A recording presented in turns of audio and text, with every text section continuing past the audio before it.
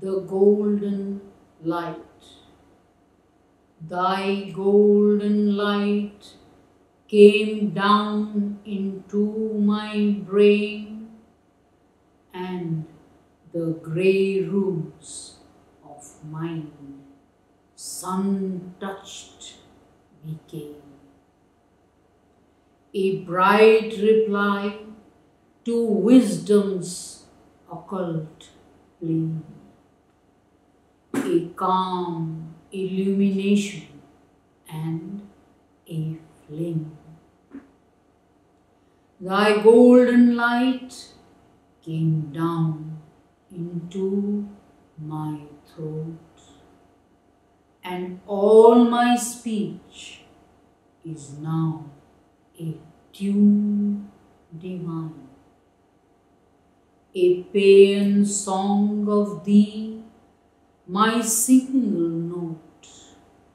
My words are drunk with the immortal's wine. Thy golden light came down into my heart, smiting my life with thy eternity. Now has it grown a temple where thou art, and all its passions point towards only thee.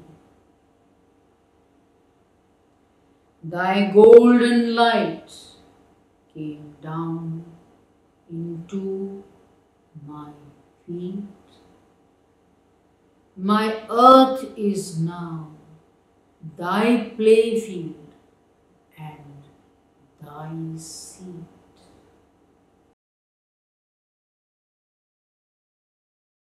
କରୁଣାମୟୀ ମା ପରମ ପ୍ରଭୁ ଶ୍ରୀ ଅରବିନ୍ଦ ଆଜିକାର ଏହି online ମାଧ୍ୟମରେ ଯୋଗଦାନ କରିଥିବା ସମସ୍ତ ମାତୃକର୍ମୀଙ୍କୁ ନୂଆପଡ଼ା ଜିଲ୍ଲା ତରଫରୁ ବନ୍ଦେ ମାତରମ୍ ଏବଂ ସୁସ୍ୱାଗତମ୍ ଏ ବର୍ଷ ଆମ ନୂଆପଡ଼ା ଜିଲ୍ଲାରେ ଶ୍ରୀ ପ୍ରପତି ବକ୍ତୃତାମାଳା କାର୍ଯ୍ୟକ୍ରମ ହେବାର ଥିଲା। କିନ୍ତୁ କୋଭିଡ୍ ନାଇଣ୍ଟିନ୍ ପାଇଁ ଏହି କାର୍ଯ୍ୟକ୍ରମକୁ ଆମେ ଅନଲାଇନ୍ ମାଧ୍ୟମରେ କରୁଛୁ। ମାଙ୍କ କୃପାରୁ ଓଡ଼ିଶାର ଉନତିରିଶଟି ଜିଲ୍ଲାରେ ଏହି କାର୍ଯ୍ୟକ୍ରମ ସରିଯାଇଅଛି। କେବଳ ଆମ ନୂଆପଡ଼ା ଜିଲ୍ଲାରେ ବାକି ଥିଲା। ଆସନ୍ତା ବର୍ଷ ଏହି କାର୍ଯ୍ୟକ୍ରମକୁ ଆମେ ଆମେ ନୂଆପଡ଼ା ଜିଲ୍ଲାରେ ଅଫଲାଇନ୍ ମାଧ୍ୟମରେ କରିବୁ। ତେଣୁ ସମସ୍ତଙ୍କୁ ବିନମ୍ର ଅନୁରୋଧ ସମସ୍ତେ ଏହି କାର୍ଯ୍ୟକ୍ରମରେ ଅଂଶଗ୍ରହଣ କରିବେ। ଆମେ ଜାଣିଛୁ ଶ୍ରୀ ପ୍ରପତିଙ୍କ ନାମ ଥିଲା ଶ୍ରୀ କାଙ୍ଗାଳି ଚରଣ ପତି। ମା ତାଙ୍କୁ ନାମ ଦେଇଥିଲେ ପ୍ରକୃତି ବାସ୍ତବରେ ଓଡ଼ିଶାରେ ମା ଶ୍ରୀ ଅରବିନ୍ଦଙ୍କର କାର୍ଯ୍ୟକ୍ରମକୁ ସେ ଅନେକ ଭାବରେ କରିଛନ୍ତି। ଓଡ଼ିଶାରେ ଘରେ ଘରେ କିଭଳି ସମସ୍ତେ ମା ଶ୍ରୀ ଅରବିନ୍ଦଙ୍କୁ ଜାଣିବେ ସେ ସମ୍ପର୍କରେ ଅନେକ କାର୍ଯ୍ୟକ୍ରମ ଶ୍ରୀ ପ୍ରପତି କରିଛନ୍ତି। ଆମର ସୌଭାଗ୍ୟ ଯେ ଆଜି ଆମେ ନୂଆପଡ଼ା ଜିଲ୍ଲା ତରଫରୁ ଶ୍ରୀ ପ୍ରପତି ବକ୍ତୃତାମାଳା କାର୍ଯ୍ୟକ୍ରମକୁ ଅନଲାଇନ୍ ମାଧ୍ୟମରେ କରୁଅଛୁ। ସମସ୍ତଙ୍କୁ ପୁଣି ଥରେ ସ୍ୱାଗତ ଜଣାଇ ରହୁଛି ବନ୍ଦେ ମାତରମ୍।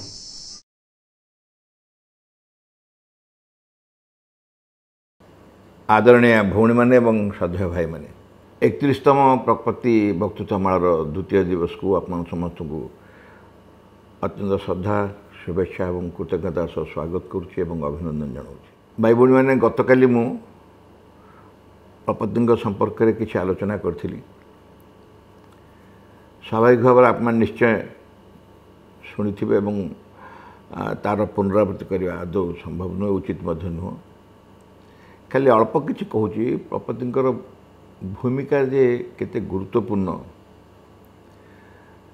ଜଣେ ଏତେ ପଣ୍ଡିତ ବ୍ୟକ୍ତି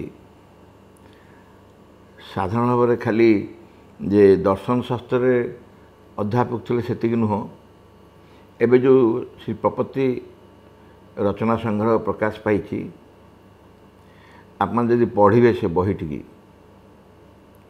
ସେଥିରେ ବର୍ତ୍ତମାନ ମୁଁ ପ୍ରତ୍ୟେକ ଦିନ ସନ୍ଧ୍ୟାବେଳେ ସେ ବହି ପଢ଼ୁଛି ପାଠଚକ୍ରରେ ଲାଇନ୍ ବାଇ ଲାଇନ୍ ପଢ଼ୁଛି ମୁଁ ତା'ର ପ୍ରଥମ କିଛି ପୋର୍ସନ୍ ହେଉଛି ନବଜ୍ୟୋତିର ସମ୍ପାଦକୀୟ ନବଜ୍ୟୋତିରେ ପ୍ରକାଶ ପାଇଲା ବର୍ଷରେ ଚାରୋଟି ପ୍ରତ୍ୟେକଟିର ସମ୍ପାଦକ ସମ୍ପାଦକ ତ ସେ ଥିଲେ ନବଜ୍ୟୋତିର ସମ୍ପାଦକୀୟଟି ଲେଖୁଥିଲେ ସେ ସମ୍ପାଦକୀୟ ପଢ଼ିଲା ବେଳେ ମୁଁ ବିଶ୍ୱାସ କରିପାରିନି ଏଇ ଭାଷା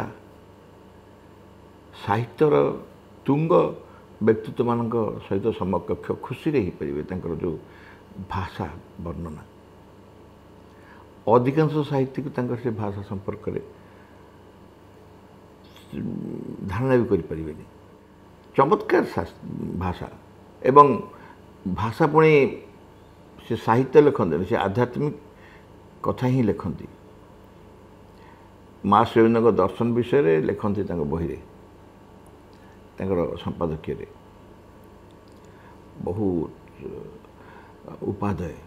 ମୁଁ ତ ଯେତେବେଳେ ସେ ବହି ବାହାରିଥିଲା ସେଦିନ ବି କାହାକୁ କହିଥିଲି ମୋର ମନେ ପଡ଼ୁନି କିନ୍ତୁ ମୁଁ ଜାଣିଛି ଆମର ସମଗ୍ର ଓଡ଼ିଶାରେ ଯେତେ ପାଠଚକ୍ର ଯେତେ ପୂର୍ଣ୍ଣାଙ୍ଗ ଶିକ୍ଷା କେନ୍ଦ୍ର ଇତ୍ୟାଦି ଅଛନ୍ତି ସମସ୍ତେ ସେ ବହି ପଢ଼ିବେ ନିଶ୍ଚୟ ପଢ଼ିବେ। ତାହେଲେ ଗୋଟେ ସ୍ପଷ୍ଟତା ଆସିଯିବ ଆମ କାର୍ଯ୍ୟ ସମ୍ପର୍କରେ। ଆମେ ଯେଉଁ କାର୍ଯ୍ୟ କରୁଛୁ ସେ କାର୍ଯ୍ୟକୁ ଜମା କାଜୁଆଲି ଭାବି କରିପାରିବାନି ପ୍ରପତିଙ୍କର ଯଦି ବହିଟି ଆମେ ପଢ଼ିଥିବା ଏବଂ ସେଇ ବହି ସେ ଲେଖିଛନ୍ତି ସେ ଏବଂ ପରବର୍ତ୍ତୀ ଅବସ୍ଥାରେ ଯେତେବେଳେ ସେ ଲେଖାଲେଖି ଟିକେ କମିଯାଇଛି ବେଶୀ ସମୟ ଦେଇଛନ୍ତି ଓଡ଼ିଶାରେ ସେତେବେଳେ ଶାରୀରିକ ଅସୁସ୍ଥତା ସ୍ନାୟୁଗତ ସମସ୍ୟା ହେଇଥିଲା ଯେଉଁଟାକି ବହୁତ ବୟସ୍କ ବ୍ୟକ୍ତିମାନଙ୍କ ପାଖରେ ହୁଏ କିନ୍ତୁ ତାଙ୍କର ମାତ୍ର ସତାବନ ଅଠାବନ ଷାଠିଏ ବର୍ଷ ପୂର୍ବରୁ ସେ ସମସ୍ୟା ବାହାରିଲା ତାକୁ କୁହନ୍ତି ପାର୍କିନସନ୍ସ ଡିଜିଜ୍। ଜଣେ କୌଣସି ବୈଜ୍ଞାନିକ ପାର୍କିନସନ୍ ତାଙ୍କର ନାଁ ଅନୁସାରେ ସେ ରୋଗକୁ ନାମକରଣ କରାଯାଇଛି ଯେଉଁଟାରେ ହାତ ଫାତ ଥରିବ ହାତ ଦେହ ଗୋଡ଼ ମୁଣ୍ଡ ସବୁ ଥରିବ। ଅର୍ଥାତ୍ ନର୍ଭ ଗୁଡ଼ାକ ଦୁର୍ବଳ ହେଇଯାଏ ତାକୁ ରେଷ୍ଟ୍ରିକ୍ଟ କରିଦେଇ ହେଇପାରିଥାନ୍ତା। ଆରମ୍ଭ ଯେତେବେଳେ ହେଲା ରେଷ୍ଟ୍ରିକ୍ଟ କରାଯାଇ ପାରିଥାନ୍ତା ସେଥିପାଇଁ ଦରକାର ବିଶ୍ରାମ ସେ କିନ୍ତୁ ସମ୍ପୂର୍ଣ୍ଣ ଭାବରେ ଅମଙ୍ଗ ହେଲେ ବିଶ୍ରାମ ନେବା ପାଇଁ ଥରେ ଏଇ କଥା ଏଇ ଉଦାହରଣ ଆମେ ଦେଇଛୁ ବହୁତ ଥର ମୁଁ କହିଛି ଥରେ ମାତୃଭୂମି ନୀର ଭାଇ ତାଙ୍କ ସାଙ୍ଗରେ ଯାଉଥାନ୍ତି ସେ ସବୁବେଳେ ମୋତେ କହିବେ ମୁଁ ଯେତେବେଳେ କେଉଁଠିକି ଯିବି ମୋତେ ଗୋଟେ ସାଙ୍ଗରେ କାହାକୁ ପଠାଇବ ମୋ ସାଙ୍ଗରେ ଏବଂ ସେ ମୋ ସେଠି ଛାଡ଼ି ଦେଇ ପଳାଇ ଆସିବ ତାପରେ ଫେରିଲା ବେଳେ ସେମାନେ କିଏ ଆଣି ଛାଡ଼ି ଦେଇଯିବେ ମୁଁ ସବୁବେଳେ ବାଣ୍ଟି ଗୁଣ୍ଟିକି ପଠାଏ ମାତୃଭବନର ଖଣ୍ଡଗିରି ଭୁବନେଶ୍ୱର ସ୍କୁଲର ଭାଇମାନଙ୍କୁ ବିଭିନ୍ନ ସମୟରେ କାହା କାହାକୁ ପଠାଏ ଥରେ ନିରଭାଇ ସାଙ୍ଗରେ ଯାଉଥିଲେ ଏବଂ ସେତେ ଯାଉଛନ୍ତି ତେନ୍ତୁଳି ନଣ୍ଡା କେନ୍ଦୁଝର ଡିଷ୍ଟ୍ରିକ୍ଟର ପ୍ରଥମ ସ୍କୁଲ ତେନ୍ତୁଳି ନଣ୍ଡା ସେଇଟା ଗୋଟେ ନିର୍ଦ୍ଦିଷ୍ଟ ସ୍ଥାନରୁ ଓହ୍ଲେଇକି ଚାଲି ଚାଲି ଯିବାକୁ ପଡ଼ିବ ବସ୍ରୁ ଓହ୍ଲେଇ ଚାଲିଛନ୍ତି ଭୀଷଣ ଖରା ଏବଂ ଗାମୁଛାଟେ ମୁଣ୍ଡରେ ପକାଇଛନ୍ତି ଓଦା କରି ନୀର ଭାଇ ତାଙ୍କ କଡ଼ କଡ଼ କରି ଚାଲିଛନ୍ତି ବ୍ୟାଗ୍ଟି ତାଙ୍କ ଧରିଛନ୍ତି ଗୋଟେ ଗଛ ଛାଡ଼ି ଟିକେ ଠିଆ ହେଲେ ନୀର ଭାଇ ପଚାରିଲେ ସାର୍ ଆମେ ଯେଉଁ କାମକୁ ଯାଉଛୁ କାମଟା କ'ଣ ସେ କହିଲେ ନାଇଁ ସେ ସ୍କୁଲକୁ ଯାଇନି ବହୁତ ଦିନ ହେଲା ଟିକେ ଯିବା ବୁଲି ଦେଖି ଆସିବା ସବୁ ଆଉ କିଛି ଟଙ୍କା ଦେବାକୁ ଥିଲା ତାଙ୍କୁ କିଛି ଅର୍ଥ ଦେବା ଆଉ ପିଲାମାନଙ୍କ ସହିତ ମିଶିବା ଭଲ ମନ୍ଦ ବୁଝିଦେଇ ଆସିବା। ନୀର ଭାଇ ବଡ଼ ସମ୍ଭ୍ରମତା ସହକାରେ କହିଲା ସାର୍ ଆପଣ ଯଦି କଟକରୁ ମୋତେ ପଠାଇ ଦେଇଥାନ୍ତେ ମୁଁ ତ ଆସିକି ନିଜେ ଟଙ୍କା ଦେଇ ଯାଇପାରିଥାନ୍ତି ଏବଂ ଆପଣ ଯାହା ଯାହା କହିଲେ ପଚାରି ବୁଝିକି ଚାଲି ଯାଇପାରିଥାନ୍ତି। ଆପଣ ଏତେ ଖରାରେ ଏତେ କଷ୍ଟ କହିଲେ ନିରଞ୍ଜନ ଏ ଶରୀର କାହାର? ମାଆଙ୍କର? ନା କାର୍ଯ୍ୟ କାହାର?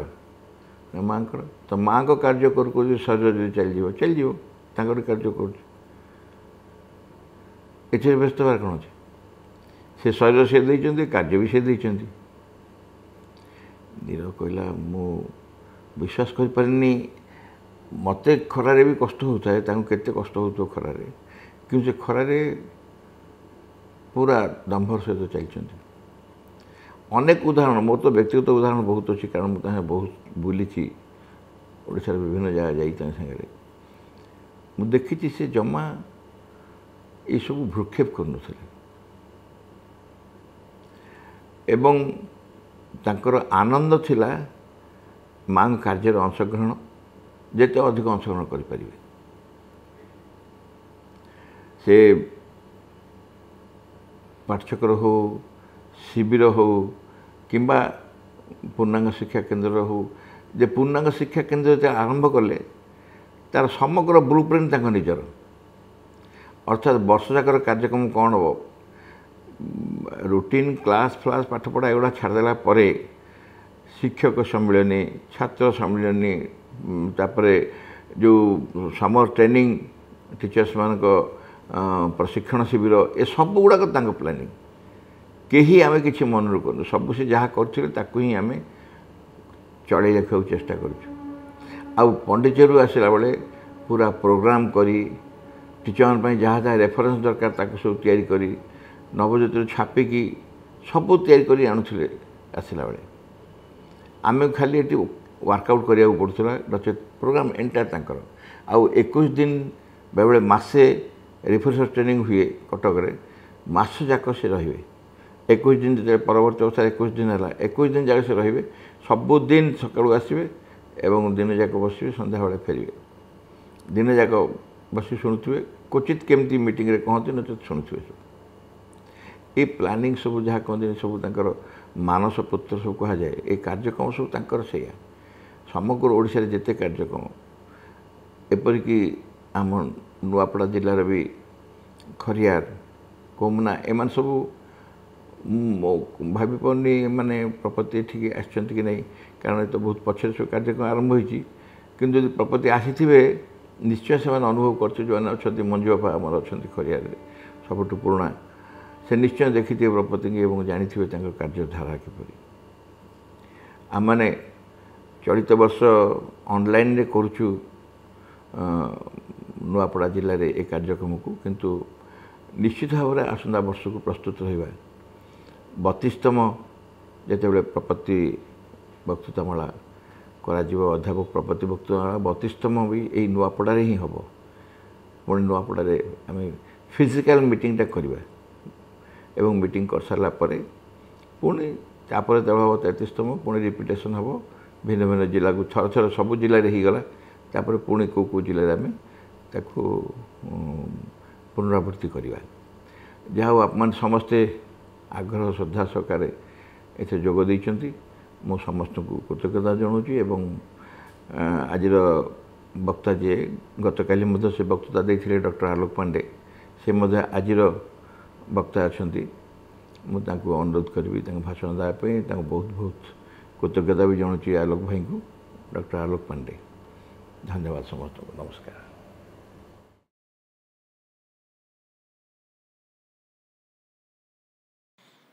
नमस्ते।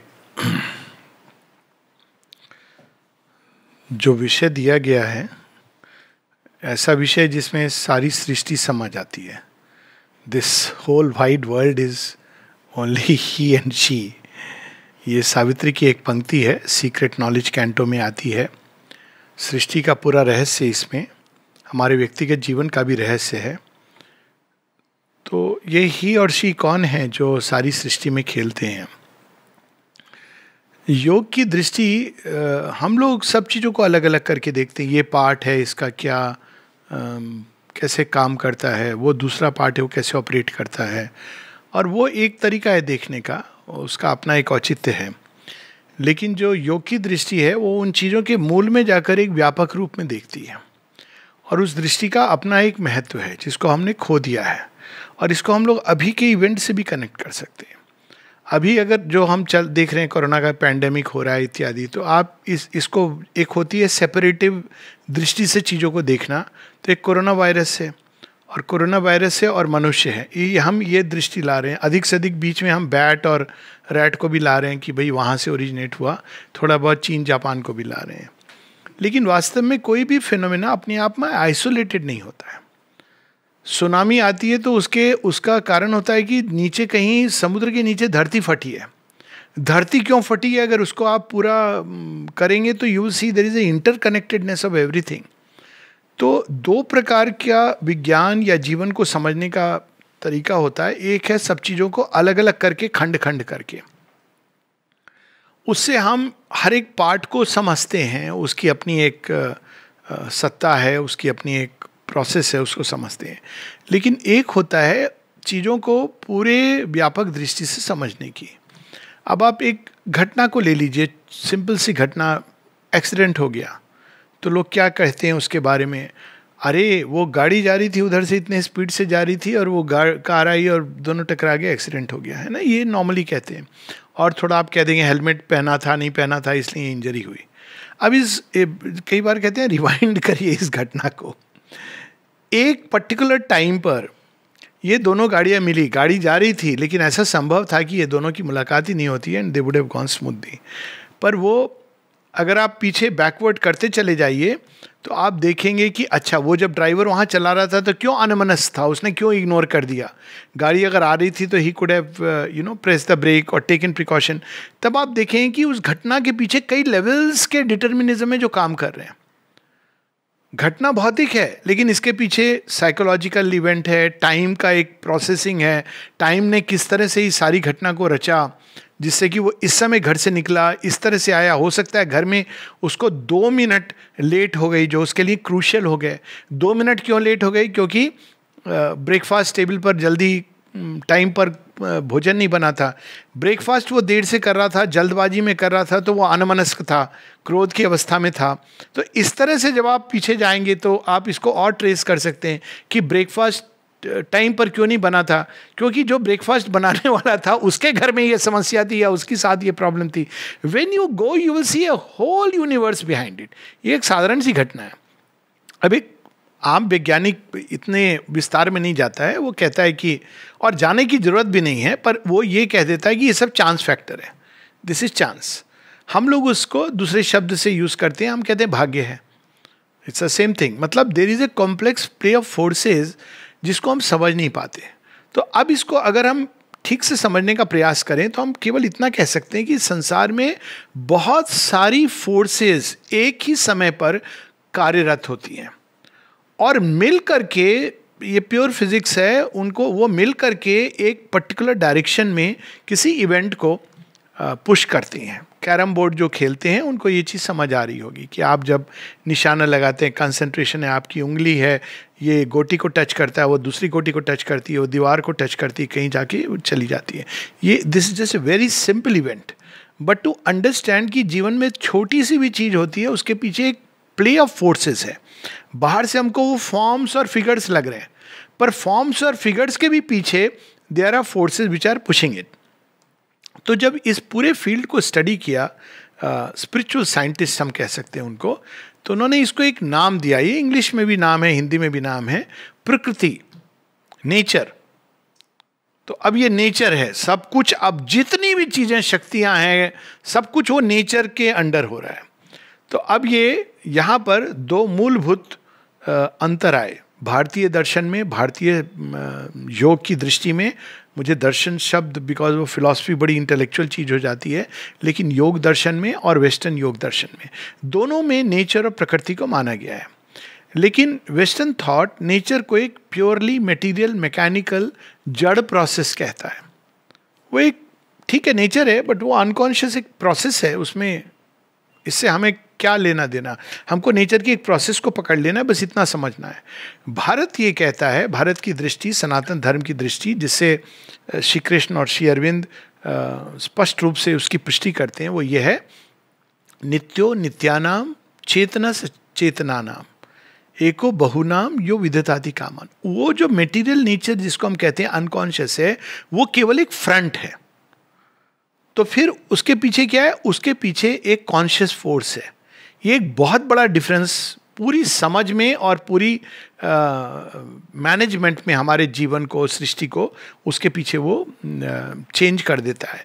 अब इसको हम ऐसे, इसको ऐसे भी लें कि जब चोट लगती है हमें तो हमारे हाथ में या एक छोटी सी उंगली में चोट लगी वैक्सीनेशन ले रहे हैं लोग। अब वैक्सीनेशन का प्रिंसिपल क्या है? इसी से हम समझे।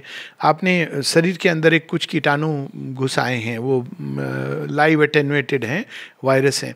अब देखिए साइंटिस्ट को पता है ये क्या है? आपके शरीर को पता नहीं है। क्योंकि आपका बॉडी तो बॉडी है। बॉडी को क्या पता है? लेकिन बॉडी को बिल्कुल प्रेसिशन से पता है कि इसको नष्ट करने के लिए उसको क्या करना है।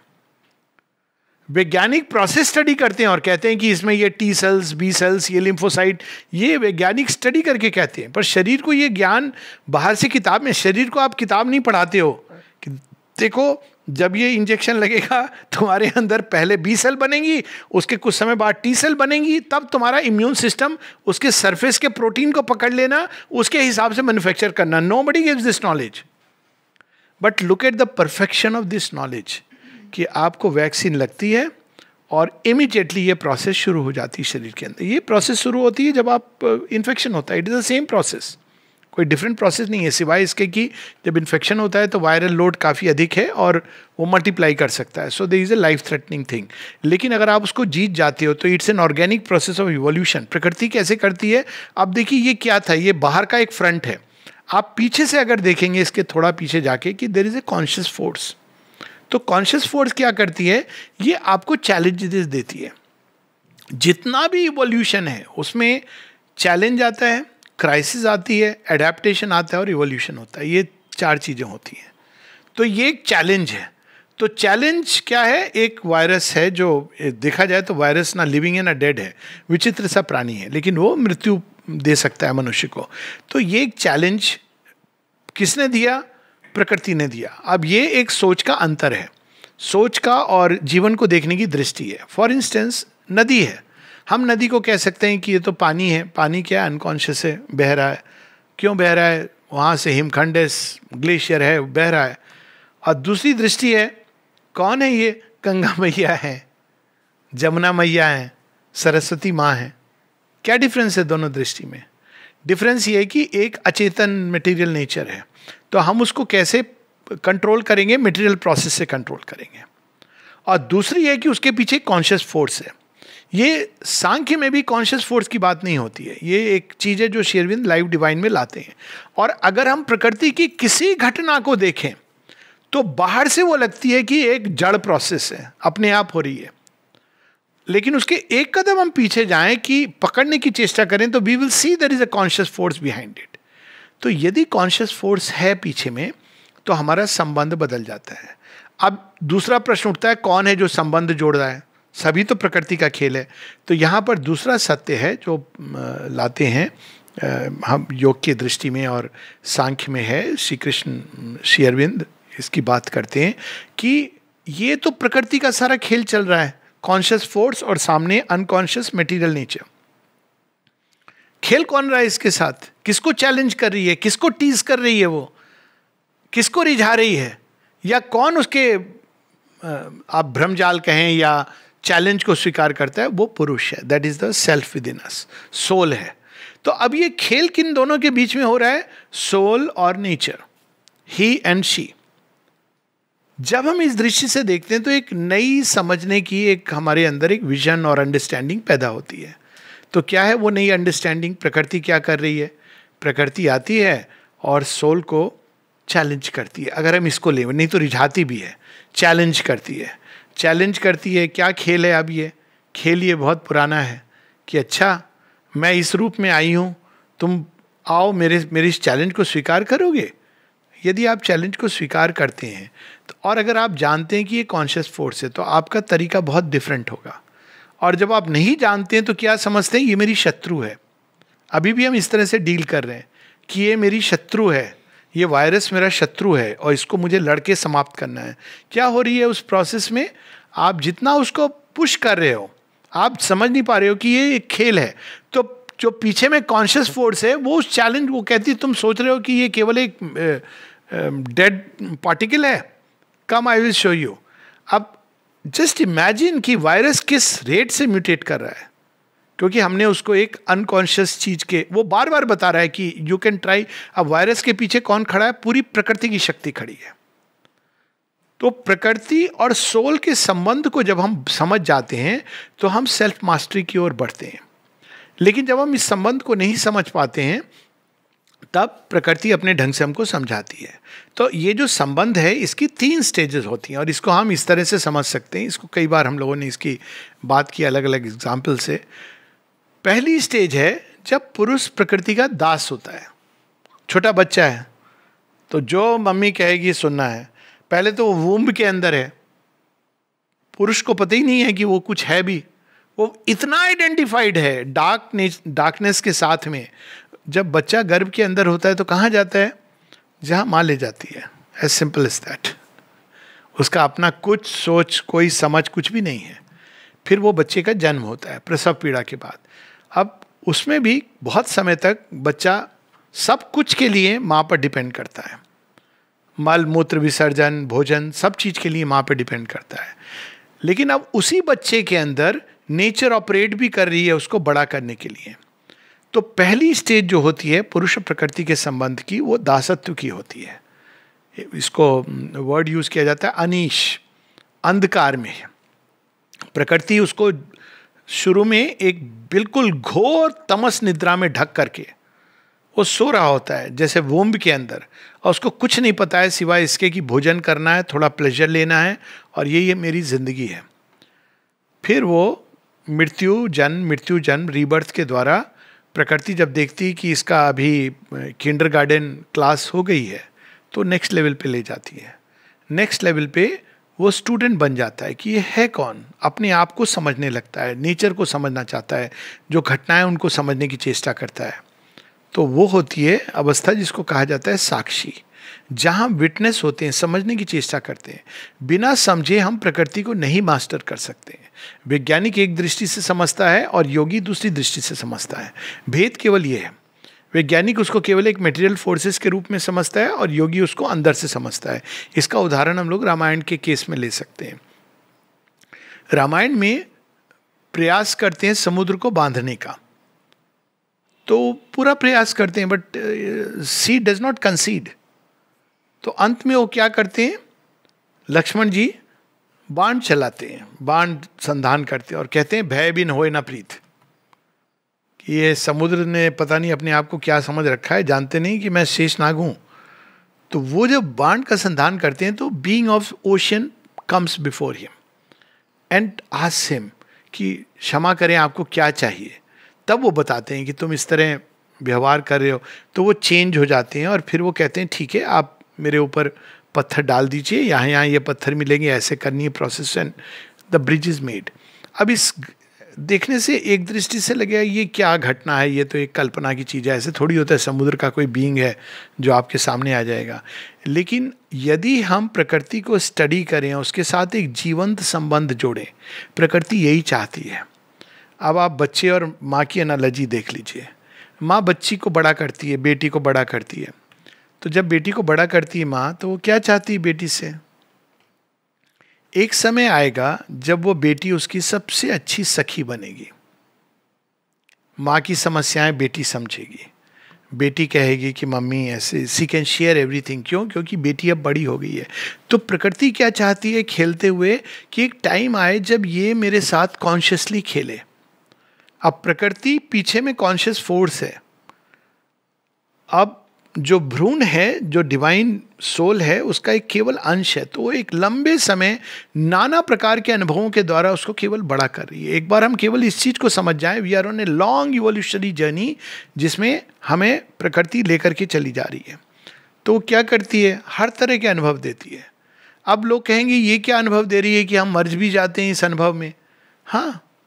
क्यों प्रकृति ऐसा करती है? क्योंकि प्रकृति की दृष्टि से हम मरते नहीं हैं। प्रकृति की दृष्टि से केवल फॉर्म नष्ट होता है। कौन सा फॉर्म जो प्रकृति ने बनाए हैं? उसी ने बनाया है। माँ बताती है प्लास्टिसिन जो क्ले है ना, वैसे उससे बनाए हैं। वो देखती है कि अब ये फॉर्म क्यों बना रही है प्रकृति? प्रकृति का मूल उद्देश्य यह है कि ये फॉर्म एक दिन ऐसा बने, एक घर बने, जिसके अंदर मैं उस साक्षात पारब्रह्म परमेश्वर को स्थापित कर सकूँ। This is the whole planning original तो वो छोटे छोटे छोटे फॉर्म्स बनाती है। एटम से शुरू करती है। एटम में भी भगवान समाते हैं। शेरविंद की एक पोयम है जहाँ कहते हैं in that electron the Shiva in is fiery chariot rides वो स्पार्क कहाँ से है? अगर आप एटम्स के वो वर्ल्ड को कहते हैं is the dance of Shiva तो अब वो अपने को, वो भी कंप्रेस करते चले जाते हैं। जितना छोटा घर, उतना छोटा होके वो कंप्रेस करके आ जाते हैं। तो प्रकृति जब छोटा घर बनाती है तो डिवाइन कॉन्शियसनेस भी एक छोटे से स्पार्क के रूप में, छोटा घर मतलब केवल साइज़ की बात नहीं है बट उसके अंदर संभावनाएँ बड़ी सीमित है। धीरे धीरे धीरे वो घर भी बढ़ता जा रहा है, सुंदर होता जा रहा है, और अंदर ही अंदर ये दिव्य शिशु भी बढ़ता जा रहा है। और एक टाइम आता है, ठीक वैसे जैसे गर्भ से माँ बढ़ती जाती तो गर्भ भी बढ़ता जाता है। एक टाइम आता है जब वो एक घर कम से कम बना लेती है, जहाँ पे भगवान कहते हैं कि yes I can get into this house and along with me all the gods वो घर है, मनुष्य का अपना देह। अब देखिए प्रकृति ने कितने लंबी यात्रा के बाद ये बना दिया। ये ये स्टोरी आती है ना उपनिषदों में कि जब मनुष्य का देह बनता है तो सारे देव, देवता कहते हैं कि हम इसमें चले जाएँगे। ये हमारे लिए उपयुक्त स्थान है। और स्वयं भगवान मानवीय तनुआश्रितम सो एक लेवल पर एक बहुत बड़ा अचीवमेंट प्रकृति ने कर दिया है। और वेदांत जब इस सत्य को पकड़ता है तो वेदांत कहता है कि अब प्रकृति का काम हो गया। अपना काम उसने कर दिया। मनुष्य बन गया, एक ऐसा खिलौना बन गया जिसके अंदर सोल, जो ओरिजिनली डिवाइन से आई है, डिवाइन को रियलाइज़ कर सकती है। और तब क्या करना है, केवल सोल को भगवान से एक होने के अनेकों प्रोसेसेस जो हैं, वो करना है। शी अरविंद लेकिन प्रश्न करते हैं कि प्रकृति लेकिन कौन थी? कॉन्शियस फोर्स ये प्रश्न श्री अरविंद उठाते हैं। और अगर वो कॉन्शियस फोर्स है तो केवल उसको छोड़ के चले जाना ये लक्ष्य नहीं हो सकता। तो अब वो कॉन्शियस फोर्स हमसे क्या चाहती है कि हम कॉन्शियसली खेलें। Original purpose is play delight लेकिन जब हम कॉन्शियस नहीं होते हैं तो वही खेल हमको बड़ा भयानक लगता है। अब एक उदाहरण ले लीजिए कि फुटबॉल मैच चल रहा है। आजकल क्रिकेट चल रहा है, क्रिकेट का उदाहरण ले सकते हैं। तो अचानक मान लीजिए एक ऐसा सिस्टम हो कि जो चाहे, जब चाहे, अचानक फ़ील्ड में चला जा सकता है। और मान लीजिए, कल्पना कीजिए कि आप सो रहे थे, अचानक उठे, आपको फ़ील्ड में ट्रांसपोर्ट कर दिया किसी ने। अब वहाँ से एकदम तेज रफ्तार से बॉल आ रही है, आप पिच पे खड़े हो, आपको पता नहीं है क्या हो रहा है। वहाँ से स्ट्रोक लग रहा है, कभी आपको चोट लग रही है। You will want to run away क्योंकि आपको कुछ पता ही नहीं है क्या हो रहा है। फुटबॉल फ़ील्ड में अचानक आप ट्रांसप्लांट हो गए। वो इधर भाग रहे हैं, कोई कोहनी मार रहा है, कोई टांग मार रहा है, कोई आप कहेंगे कैसा ये, कैसा दृश्य है? लेकिन जब आप रूल्स ऑफ़ द गेम सीख लेंगे, जब आपको पता चल जाएगा अच्छा ये खेल है, इसमें तो बड़ा मज़ा आता है। आप देखें कि ये ब्रूट खेल नहीं है, इसमें तो माइंड गेम भी है साइकोलॉजिकल गेम भी है। तो आप प्रैक्टिस करके जब मैदान में आएँगे तो आप उसको कॉन्शियसली खेल रहे हैं। उसमें भी चोट लगेगी। ऐसा नहीं कि चोट नहीं लगेगी, पर आपको आनंद आ रहा है गेम में। तो प्रकृति और पुरुष का जो खेल है, ये दो लेवल पे होता है। एक जब हम अनकॉन्शियस होते हैं, हमको पता ही नहीं है कि ये कोई खेल चल रहा है। पहले तो हमें पता ही नहीं कि हम कौन है। प्रकृति ने एक सेंस ऑफ़ आई के लिए मनुष्य के अंदर, जब मनुष्य आता है, मनुष्य के पहले तो सेंस ऑफ़ आई भी नहीं है। वो फॉर्म्स बना रही है, तोड़ रही है, उसको कोई फ़र्क नहीं पड़ता है। भगवान को ऐसे हम देखें, वो फॉर्म बनाती है, फिर भगवान से पूछती है, इसके अंदर आएँगे? ये स्टोरी है ना मनु और शत्रुपा की। तो वो अलग अलग फॉर्म्स में शत्रुपा छुप जाती है and Manu has to discover her तो वो फॉर्म्स बना के पूछती हैं इज़ इट गुड तो भगवान धीरे धीरे ठीक है, थोड़ा और थोड़ा और करते करते मनुष्य को बना देती है। अब मनुष्य के लेवल पे मनुष्य ही एक जीव है जो अपनी प्रकृति को स्टडी करता है, वो केवल अनिश नहीं है विटनेस है। अपनी प्रकृति को, विश्व प्रकृति को। लेकिन वो स्टडी कैसे करेगा? वो मीन्स भी प्रकृति ने दिए हैं। आपकी सारी इंद्रिय प्रकृति ने बनाई है। आपकी बुद्धि भी प्रकृति ने दी है। ये सब मन प्रकृति का हिस्सा है। तो वो खुद ही खेल ऐसा खेल रही है कि थोड़ा थोड़ा अपने आप को रिवील कर रही है। श्री अरविंद इसको कंपेयर करते हैं एक ह्यूमन रिलेशनशिप में। एक मैन और वुमेन ये एक प्रकृति और पुरुष का रिलेशन बताया जाता है।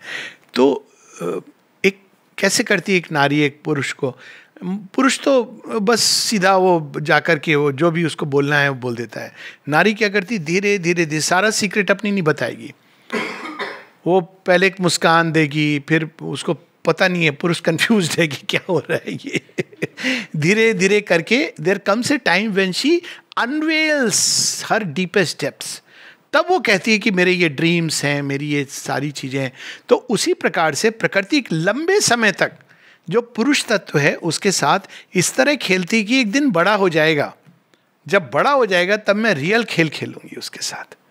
और वो रियल खेल के लिए हमको बड़ा करती, तैयार करती। सारी जो ठोक पिटाई जैसे माँ बच्चे को, उससे स्कूलिंग प्रोसेस जिससे बच्चा गुजरता है। हम लोग की प्रॉब्लम क्या है कि हम लोग, चूँकि अज्ञान में हम इस खेल को बहुत सीरियसली ले लेते हैं। माँ ये बताती है this is the big problem with us हम इतनी सेल्फ इंपॉर्टेंस लेके खेल को इतना सीरियस बना देते हैं। अब कई बार लोग मुझसे पूछते हैं कि फिगर्स नंबर्स आते हैं आजकल टीवी में। तो मैं उनसे पूछता हूँ कि आबादी घट रही है क्या? एक प्रश्न। नहीं, आबादी तो बढ़ रही है। मैं कहता हूँ, एक समय था जब इतनी मृत्यु आई आज दिन की मृत्यु पहली बार हो रही है क्या? क्या पहली बार मृत्यु हो रही है? नहीं, पहली बार नहीं मृत्यु हो रही होती रही है। तो अब मृत्यु का ओरिजिनल कारण ढूंढो ना। आप आज कोरोना से बच जाओगे, आपको दूसरी एक कोई प्रॉब्लम है। आप कब तक ऐसे ये प्रकृति कर क्या रही है? आपको पुश कर रही है टू द लिमिट कि खोज तो तू कौन है? और वो तब तक पुश करती रहेगी जब तक आप एक दिन मुड़ करके नहीं कहोगे हाँ मैं जान गया। अब प्रकृति पूछेगी, कौन हो तुम? मैं तो अमृतत्व हूँ। तब वो कहेगी, गुड। अब प्रकृति ने आपको तैयार किया कैसे तैयार किया है? चैलेंजेस के थ्रू तैयार किया है। You are pushed against the wall माता जी इसको बताती हैं you are pushed against the wall till you are compelled to turn within and ask this question मैं हूँ कौन? जो एक वायरस से भाग रहा हूँ, इस बीमारी से भाग रहा हूँ, उस बीमारी से भाग रहा हूँ शुगर बढ़ जाती है तो मृत्यु सामने नज़र आ जाती है ब्लड प्रेशर बढ़ जाता है तो मुझे लगता है अब कुछ सज्जन है, हर आधे घंटे पर ब्लड प्रेशर लेते हैं। बताना पड़ता है उनको कि भाई, मेरे से तो कोई पूछता है ये प्लीज़ डोंट अप्लाई इट पूछते हैं कि ब्लड शुगर है कि नहीं आपको? तो मैं कहता हूँ कि नहीं है, कैसे मालूम? मैंने टेस्ट नहीं कराया। तो ये एक तरीका होता है। This not a good way to live पर मैं बता रहा हूँ कि एक एक टाइम आता है, मैंने छुट्टा रायन जी को ऐसे जीते हुए देखा है। देर इज़ अ वे आप, लेकिन ये नहीं कि अगर आप सबकी अलग अलग स्टेज है इवोल्यूशन के कहने का अर्थ ये कि what is she trying to do कोई संसार में आपको परेशान करने के लिए नहीं भगवान बैठा हुआ है। किसी ने अभी कुछ दिन पहले एक मेल आया, भगवान, इतना क्रूएल क्यों है? अरे, क्रूएल नहीं है वो, आपसे खेल रहा, आप आप खेल खेल नहीं पा रहे हो, चैलेंज को समझ नहीं पा रहे हो तो आप क्रूएल कह रहे हो? It's not cruel he wants you to grow up and be a man एक चिरोकी लेजेंड आपने पता नहीं सुनी होगी शायद। तो एक ट्राइब है यहाँ की ऑस्ट्रेलिया की ट्राइब होती थी। अफ्रीकन ट्राइब थी शायद। नहीं ऑस्ट्रेलियन ट्राइब थी जो शुरू में जब वो कहते हैं चिरोकीज सो so, वहाँ पे जब बच्चा बड़ा होता है ना एडल्ट हो गया वो जा सकता है सिनेमा देखने। तो अभी वेस्टर्न वर्ल्ड में क्या तरीका अठारह साल आपका बर्थडे हो गया अब आपको मिल जाएगा। लेकिन वो क्या करते थे? जब बच्चा कहता था कि अब मुझे कबीले का आप थोड़ा चार्ज दीजिए काम दीजिए तो कहते ठीक है तो तेरा टेस्ट है। टेस्ट क्या होता था? पूरी रात उसको आँखों पे से पट्टी बाँध करके एक जंगल में छोड़ दिया जाता था। वो ऐसा जंगल जिसमें सिंह भी हैं, सांप भी हैं। और कहा जाता था कि तू सुबह में बच गया तो तू जवान हो गया, युवा है। ये अब देखिए, एक छोटी सी चीज़ है। इसमें क्या है? बच्चे के अंदर एक ट्रस्ट है, बच्चे के अंदर एक चैलेंज का भाव है, उसके अंदर शौर्य है करेज है। वो पट्टी नहीं खोल सकता, बाकी सब कर सकता है। अब उसको बाकी सारी इंद्रियों से अपनी अलर्ट रहना है कि कहाँ से क्या चीज़ आ रही है और उसको सीखना है how to take the challenge वो रहेगा उसके पास भाला वगैरह बर्छा रहेगा। तो एग्जैक्टली exactly, जब वो उसके बाद निकलता है तो निखर करके लायन किंग फ़िल्म देखी होगी बच्चों ने है ना? यही चीज़ यही चीज़ है लायन किंग में। तो प्रकृति एक लंबे समय तक हमें दास की तरह ट्रीट करती है और वो जैसा बोलती है, हम विवश हो जाते हैं। हमारे अंदर एक जो लोग कहते हैं ना, सोल ने क्यों डिसाइड किया ऐसे जाने के लिए? ग्रो करने के लिए। हम कॉन्शियस नहीं होते, हम तो केवल एक ईगो सेल्फ जिसको हम कहते हैं, है। तो ईगो सेल्फ भी प्रकृति की रचना है। तो एक और प्रकृति ने बनाए हैं, कारण, उपादान इंस्ट्रूमेंट्स इंस्ट्रूमेंटल पर्सनैलिटी हमारी हमारी कर्म इंद्रिया ज्ञान इंद्रिया इत्यादि प्रकृति ने बनाई हैं। साथ में आपको उनका मालिक कौन है? मालिक तो अंदर में छुटका सा बच्चा है। तो एक मैनेजर के रूप में प्रकृति ने अपने आप ही एक ईगो बना दिया। ईगो मैनेजर है, प्रकृति की रचना है। तो ईगो क्या करती है? प्रकृति तो बहुत विशाल है। ईगो क्या करती है? वही करती है जो हम नदी में जाकर के अर्घ देते हुए करते हैं। आप नदी में जाते हैं तो क्या करते हैं? सब अपनी अपनी जगह का उठा करके, भगवान, सूर्य, ये ले लो। पानी पानी तो एक ही है ना। एक व्यक्ति अर्घ दे रहा है सारा, लेकिन ये सेंस कि मैं दे रहा हूँ। तो हम क्या करते हैं, प्रकृति के साथ जब ऐसे खेल खेलने लगते हैं, जब कॉन्शियसनेस की कॉन्शियस होने की अवस्था आती है तो हम कहते हैं this is me this is my nature मुझे ऐसा महसूस होता है। तुमको वैसा महसूस होता है। अब इसके साथ क्या होता है, आपस में घर्षण, आकर्षण और घर्षण दोनों साथ साथ होते हैं। जो चीज़ मुझे मेरी जैसी लगती है ये मेरा है। शरीर से मेरे जीन शेयर करता है, ये मेरा है। मेरे विचारों से सहमत है, ये मेरा है। मेरी भावनाओं को पोषित करता है, ये मेरा है। मेरे कामनाओं को पूर्ति करता है, ये मेरा है। और जो इसको अलग तरह का है, मैं वाइट हूँ, वो निग्रो है ब्लैक है। ये मैं नहीं हूँ। मेरा मेरा नहीं है, ये मेरा आदमी नहीं है। मेरे विचार हैं भगवान में विश्वास करने के दूसरे के नहीं हैं तो बस द्वंद्व युद्ध प्रारंभ हो जाता है। बिलीवर और नॉन बिलीवर में क्या डिफरेंस है? ये डिफरेंस ये है कि एक ने शेडो देख ली, भगवान की दूसरे ने देखी नहीं। This is the difference one has seen the shadow of God but at least he has seen the shadow तो वो असलियत तक पहुँच सकता है। ये डिफरेंस है। तो ये अब सेंस ऑफ़ सेल्फ उसके साथ क्या होता है कि ईगो से जुड़ करके ग्रुप लाइफ भी तैयार होती है। ये मेरे लोग हैं। मेरे घर के हैं, मेरे अपने हैं, इत्यादि इत्यादि करके एक पूरा तामझाम प्रारंभ होता है। तो इस तरह चैलेंजेस के साथ, दोनों, आकर्षण और घर्षण दोनों के साथ हमारा सेल्फ ग्रो करता है। आकर्षण के द्वारा कैसे ग्रो करता है? पोषित होता है। कहते हैं ना इनकरेजमेंट भी ज़रूरी होता है। आप कितने अच्छे हैं, आप कितने इत्यादि इत्यादि। और चैलेंजेस के साथ भी ग्रो करता है। जब कोई आपको ये कहता है कि आप बिल्कुल निहायत ही बेवकूफ़ इंसान है। तो आपके अंदर क्या भाव आता है? अच्छा मुझे बेवकूफ़ कहता है। इसने अपने आप को क्या समझा है? मैं एक दिन प्रूव करूँगा। कालिदास जी के साथ यही हुआ था ना, जब उनकी पत्नी ने उनको कह दिया था, मूर्ख, तुझसे मैंने विवाह किया, चले गए बेचारे। मुझे मूर्ख कह दिया मेरी पत्नी ने। मूर्ख थे? ऐसा नहीं गलत कहा था। जाके वो माँ काली को, तभी तो कालिदास नाम पड़ा कि माँ, वो तो उस, अपना आत्महनन करने जा रहे थे। तो वो फिर प्रकट होती हैं, कहती हैं, ज्ञान ऐसे नहीं मिलता है, मैं तुझे ज्ञान दूँगी। और तभी वो कालिदास मतलब ऐसा ज्ञान दिया कि ये इमोटलाइज उनकी कृतियाँ जो ऐसी हैं, अद्भुत हैं। उनके अंदर श्रृंगार रस था, वो स्टडीज़ में अच्छे नहीं थे, लेकिन उनके अंदर जो संभावना थी, वो बिल्कुल अलग थी। शी ब्रिंग्स दैट आउट तो इस प्रकार से वो चैलेंजेस हमको दे करके हमें ग्रो कर रही है। कोई हमारा शत्रु नहीं है। ना भगवान है ना वायरस है ना कोई भी कोई शत्रु नहीं है। वो हमें चैलेंजेस दे रहे हैं। और जिस दिन आप चैलेंजेस को लेने के दो तरीके होते हैं। एक हम प्रकृति को अनकॉन्शियस समझते हैं और बाहर से उसको आ, सारे कंडीशंस कंट्रोल करने की कोशिश करते हैं। इसको कहते हैं गॉस्पिल ऑफ़ हरिण्य कश्यप हरिण्य कश्यप की गॉस्पिल क्या है? मैं ऐसे ना मरूं, वैसे ना मरूं, इससे ना मरूं, उससे ना मरूं, इस इस जगह ना मरूं, उस जगह ना मरूं। ये सब वो कंट्रोल कर लेता है। पूरा एकदम अमेरिकन है। सब तरीके कंट्रोल कर लिए। वैक्सीन भी ले ली उसने सारी। तो अब वो बिल्कुल अब मैं मरूँगा नहीं। अब आप पूछ सकते हो, जिन लोगों ने इतना कॉन्फिडेंट है ना कि अब हमने वैक्सीन ले लिए तो बोलो अरे, आप अमर हो गए ये अमर तो नहीं हुए तो बात तो वही है। You are still subject to death तो अब जब ये पूरा कॉन्फिडेंट हो जाते हैं कि अब मुझे कोई नहीं मार सकता है तो भगवान कहते हैं सेटिस्फाइड हाँ सेटिस्फाइड तुझे त्रिलोक का राज्य मिल गया हाँ मिल गया. अब देख, तू अपने बबिल में रह रहा है ना? अभी मैं तुझे सत्य दिखाता हूँ। और उन्हीं के घर में प्रहलाद आ जाता है। अब प्रहलाद कौन है? Hiranya Kashyap is the ego self and Prahlad is the soul within us तो जब छोटा होता है तो वो जैसे बाप कहता है वैसे, लेकिन वो धीरे धीरे ग्रो करता है। ग्रो करके अंत में अपने फादर को ही चैलेंज कर देता है। ये एक बैटल होती है अंदर में। और दोनों का तरीका क्या है? हर, प्रहलाद कहते हैं, सब जगह भगवान है। बस simple he knows the power of one प्रकृति इज़ अबाउट मल्टीप्लिसिटी प्रकृति हमें ऐसा प्रतीत कराती, ये है, वो है, सब अलग अलग है। लेकिन अंदर में वो एक है। तो प्रकृति दो प्रकार की होती हैं। एक होती विद्यामयी, एक होती अविद्यामयी। अविद्यामयी इस भाव से कि सब अलग अलग हैं।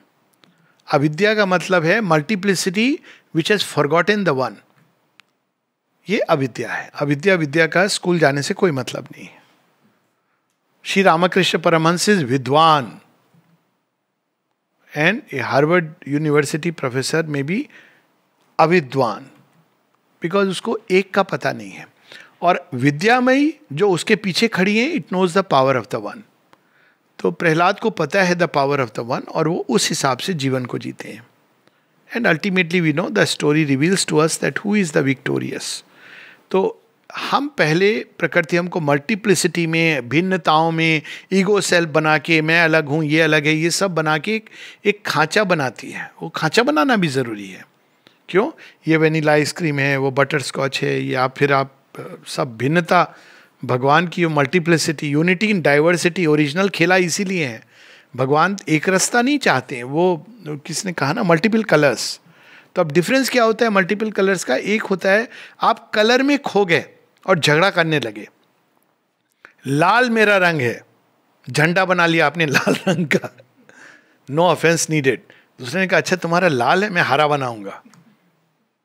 तीसरे ने कहा, मैं काला बनाऊँगा। ऐसे करके आपने झंडे बना लिए अलग अलग ठीक है? लेकिन डिफरेंस क्या होता है? एक व्यक्ति एक रंग को पकड़ करके समझता है, यही रंग सब कुछ है, सर्वोत्तम है, सर्वोच्च है, और बाकी रंग और दूसरा व्यक्ति क्या होता है? वो इंद्रधनुषी होता है। इंद्रधनुष को पता है, इंद्रधनुष इतना अच्छा क्यों होता है कि ये सारे रंग मेरे अंदर है। बैकग्राउंड तो स्काई का है।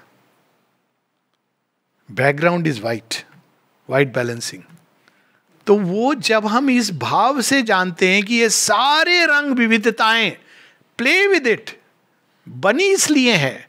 शेरविंद बार बार ये बताते हैं ना कि यू आर प्लेइंग ये जीवन मुक्त की अवस्था है, आप प्ले कर रहे हो उससे, लेकिन आप बैकग्राउंड में वन वन को भूल के अगर खेलोगे तो बहुत भयानक भ्रम जाल में चले जाओगे। आपके पास कोई बैकअप प्लान नहीं होगा। ऑफ़ कोर्स क्योंकि प्रकृति के पीछे कॉन्शियस फोर्स है, कोई भी भ्रमजाल से अल्टीमेटली वही तुम्हें निकाल देगी। लेकिन जब वन को स्मरण करके खेल हम खेलते हैं तो एक बिल्कुल भिन्न अवस्था होती है हमारी। तो यही चीज़ शेरविंद सीक्रेट नॉलेज में this whole wide world is only he and she लेकिन क्या मनुष्य का घर बना के जिसमें भगवान आ गए खेल खत्म हो गया है? शेरविंद कहते हैं, नहीं, एक लेवल का खत्म हो गया है। कंप्यूटर गेम्स होते हैं ना अलग अलग लेवल के। तो अब क्या होने वाला है? घर तो बना दिया आपने जिसके अंदर भगवान आ गए। लेकिन अब भगवान आ गए और भगवान अपनी दृष्टि से घर को देख रहे हैं। तो भगवान कह रहे हैं, घर तुमने मेरे रहने, माने मेरे ड्वेलिंग के लिए तो बना दिया, लेकिन अब इसमें एक नेक्स्ट लेवल का चेंज लाना है। मैं रह सकता हूँ इसमें, लेकिन अब मेरे योग्य होना चाहिए ये घर। तो अब नेक्स्ट लेवल पे ये जो घर है, कैसा बनेगा? नाउ द कॉन्शियस फोर्स जो प्रकृति के पीछे छिपी थी, वो कहती हैं, अब बेटी, तू चली जा पीछे। अब मैं करती हूँ। तो अब ये नेक्स्ट लेवल का जो गेम है, वो योगा ऑफ़ ट्रांसफॉर्मेशन है। योगा ऑफ़ ट्रांसफॉर्मेशन क्या है? यही है ना सोल को रियलाइज़ करना ट्रेडिशनल योग है। नेचर भी अपने सत्य को रियलाइज़ करे। अब आप सोचिए, कितना विरोधाभास है। हम सब कहते हैं ना, देह में भगवान रहते हैं। अब भगवान रहते हैं किस देह में? क्या छाप पड़ी है इस मैटर के ऊपर? सब काम, क्रोध, लोभ, मोह, मद। जो जो चीज़ें अनस्पीकेबल्स हैं, सबका इम्प्रिंट है। और शरीर के अंदर आप देखें मलमूत्र विष्ठा, ये ये मेडिटेट करते हैं ना लोग। Prone to degeneration disease death old age ये कैसा घर है भगवान का? आप ऐसे मंदिर बनाएँगे क्या? जिसके अंदर ये सारी चीज़ें चल रही हों और बोले, भगवान का मंदिर है।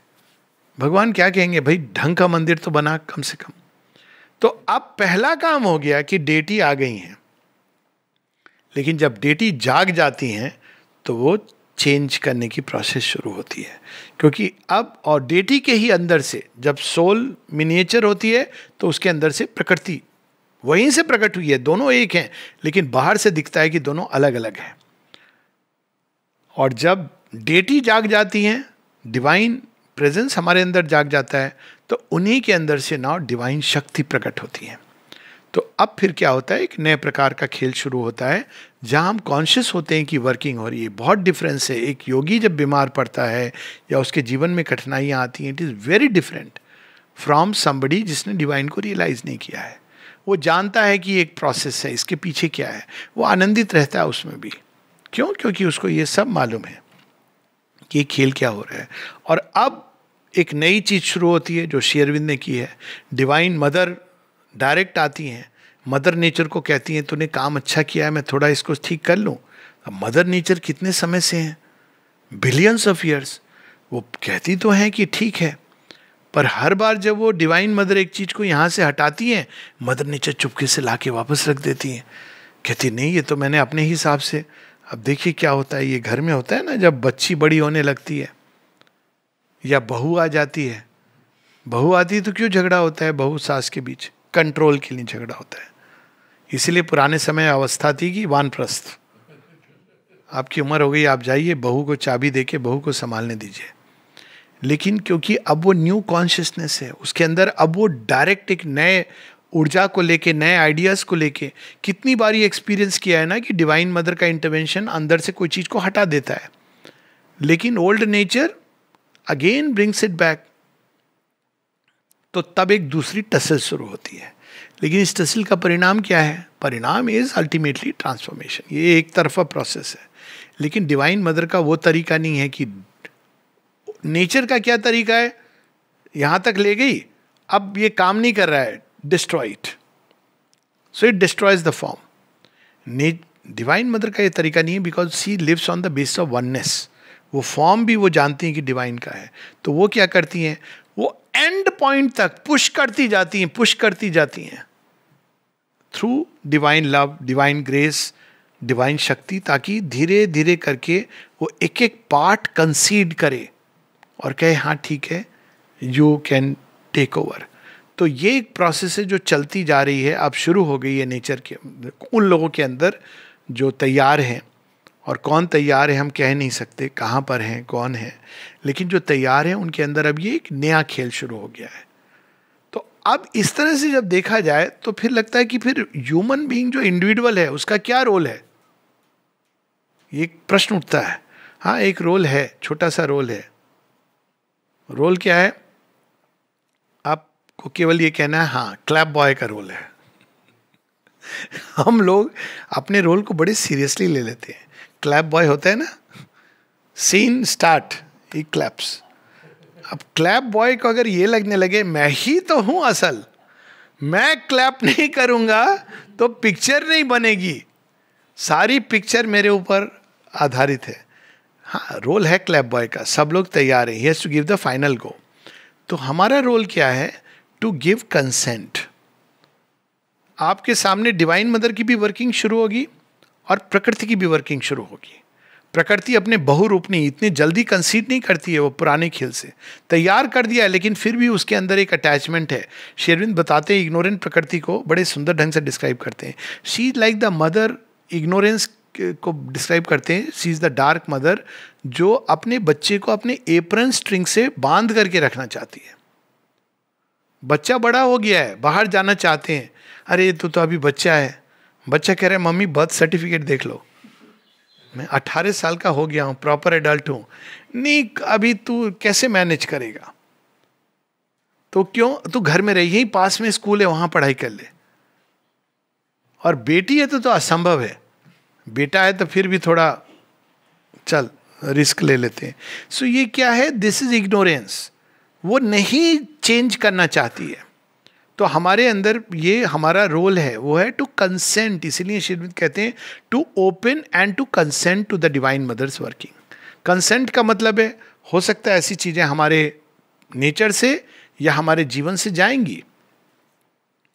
हम कंसेंट नहीं करने का मतलब है हम कंप्लेन करना शुरू कर देंगे ग्रम्बिल करना शुरू कर देंगे। माँ, वो मेरा इतना प्रिय था, उसको कोरोना कैसे हो गया? किसी ने शुरू शुरू में पूछा था ना? कि एक आश्रमाइट को कोरोना कैसे हो गया? तो हमने कहा, ऐसा तो कोई कॉन्ट्रैक्ट नहीं था। मुझे नहीं याद है ऐसा कोई कॉन्ट्रैक्ट था कि आपको ये नहीं होगा, वो नहीं होगा। केवल एक चीज़ है, रूपांतरण होगा। अगर आप इसमें पढ़ते चले जाओगे, एक लाइफ में, किस लाइफ में? This is the certainty no where mother and शुभिंदर said all your life you will have no illness nothing no but उन्होंने कहा, इन सबके थ्रू मैं तुमको संभाल करके ले जाऊँगा। क्यों संभाल करके ले जाऊँगा? आपको जो इम्पैक्ट होता है एक इवेंट का, क्योंकि नेचर से जब आप विष को हटाते हो, पुरानी चेतना को हटाते हो तो वो बहुत कठिन काम होता है। तो जब तक हटाते नहीं है, तब तक हमको पता भी नहीं चलता है कि हम विष में जी रहे थे। आपको वो पुरानी मिठाई बहुत अच्छी लग रही है।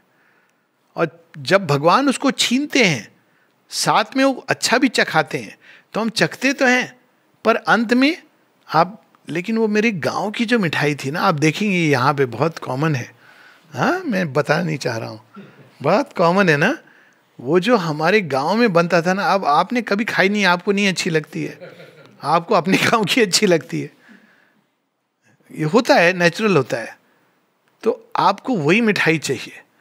तो नई मिठाई, नया पकवान आपने थोड़ा ट्राई किया, लेकिन कुछ समय बाद कोई गाँव से ले आता है ना, अभी तो आपको कितना अच्छा लगता है? अरे, ये तो हमारे गाँव की मिठाई है। तो आपको बहुत अच्छी लगती है। हाँ तो उसी तरह से हमारे अंदर ये टसल शुरू होती है। डिवाइन मदर नई चीज़ें देती है पीस देती है, जो कभी अनुभव नहीं हुई थी। अरे पीस कितना आनंद आ रहा है इस पीस में। कुछ समय के बाद। लेकिन कुछ समय बाद आपका एक पार्ट कहता है, कुछ ज़्यादा पीस नहीं हो रही है? थोड़ा कुछ करते हैं ना, पार्टी, कुछ हंगामा। कुछ तो करना चाहिए। हाँ हाँ करते हैं। क्यों? क्योंकि आपको ओल्ड नेचर सिट से phantom on the way divine love आ गया। आपको बहुत आनंदित हो रहा है।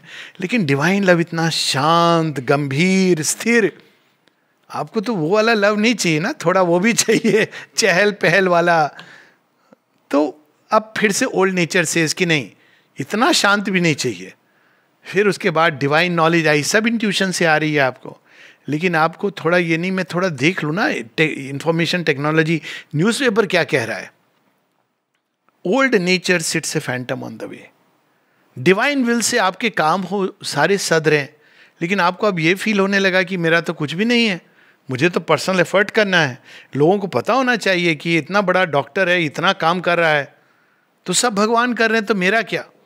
तो इस प्रकार से human will individual will start coming so we have to become passive receptive and open passive not in the sense of तामसिक but open fully to the divine mother and to allow her to work ये हमारा role है कि हमारे सामने ये पुराने channel भी टीवी के हैं और अब नए चैनल आ गए हैं। हम कौन सा चुनेंगे? तो जिसको हम चुनेंगे, उस हिसाब से हमारी प्रकृति के अंदर चेंज आएगा। और अंत में हम ये देखेंगे कि वास्तव में ये खेल तो एक ही का था। खेल के लिए they became two for the sake and joy of the play और जब हम इस तरह से देखते हैं, पूरे ज्ञान से इस खेल को खेलते हैं, तब ये खेल डिलाइटफुल होता है। इस खेल का जो ओरिजिनल पर्पस है इज़ डिलाइट किसी भी खेल का ओरिजिनल पर्पस हार जीत नहीं होता है। आप पूछे किसी प्लेयर से जब वो पूरा हो जाता है, उसको स्टैटिस्टिक्स कब हारे, कब जीते, थोड़ा मज़ा आता है याद करने में। लेकिन अंत में खेल का मज़ा। तो कोई भी खेल creation is a play meant to manifest delight in countless ways. अब आप एक व्यक्ति प्रश्न कर सकता है, ये कैसी डिलाइट है इसमें? बहुत सारे ऐसी भी चीज़ें हैं जो हमको डेंजरस लगती हैं।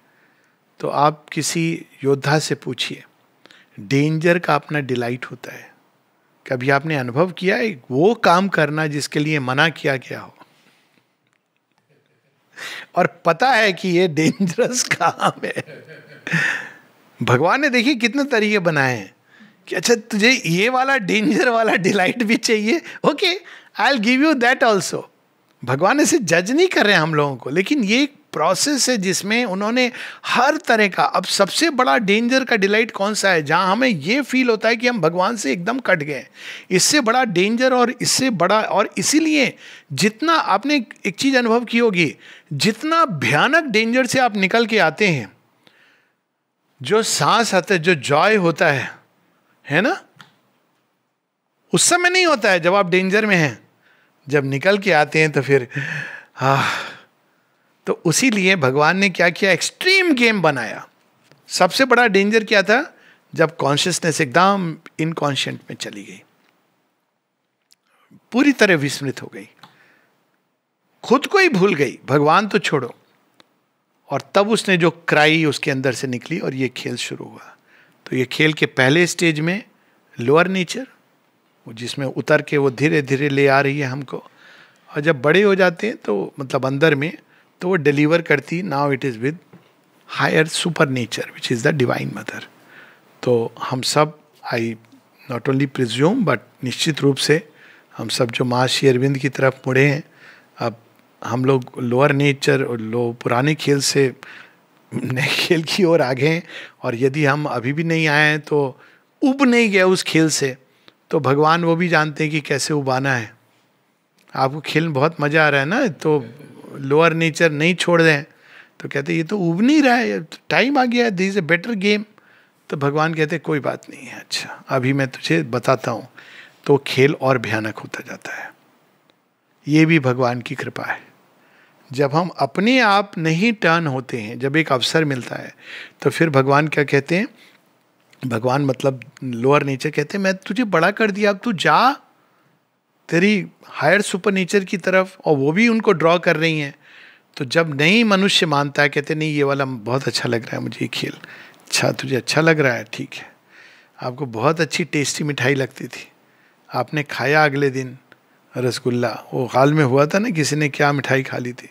सबको वॉमिटिंग शुरू हो गई। भगवान कहते, देख, नहीं, वो तो एक दिन हुआ, थोड़ी कोई रोज रोज होगा।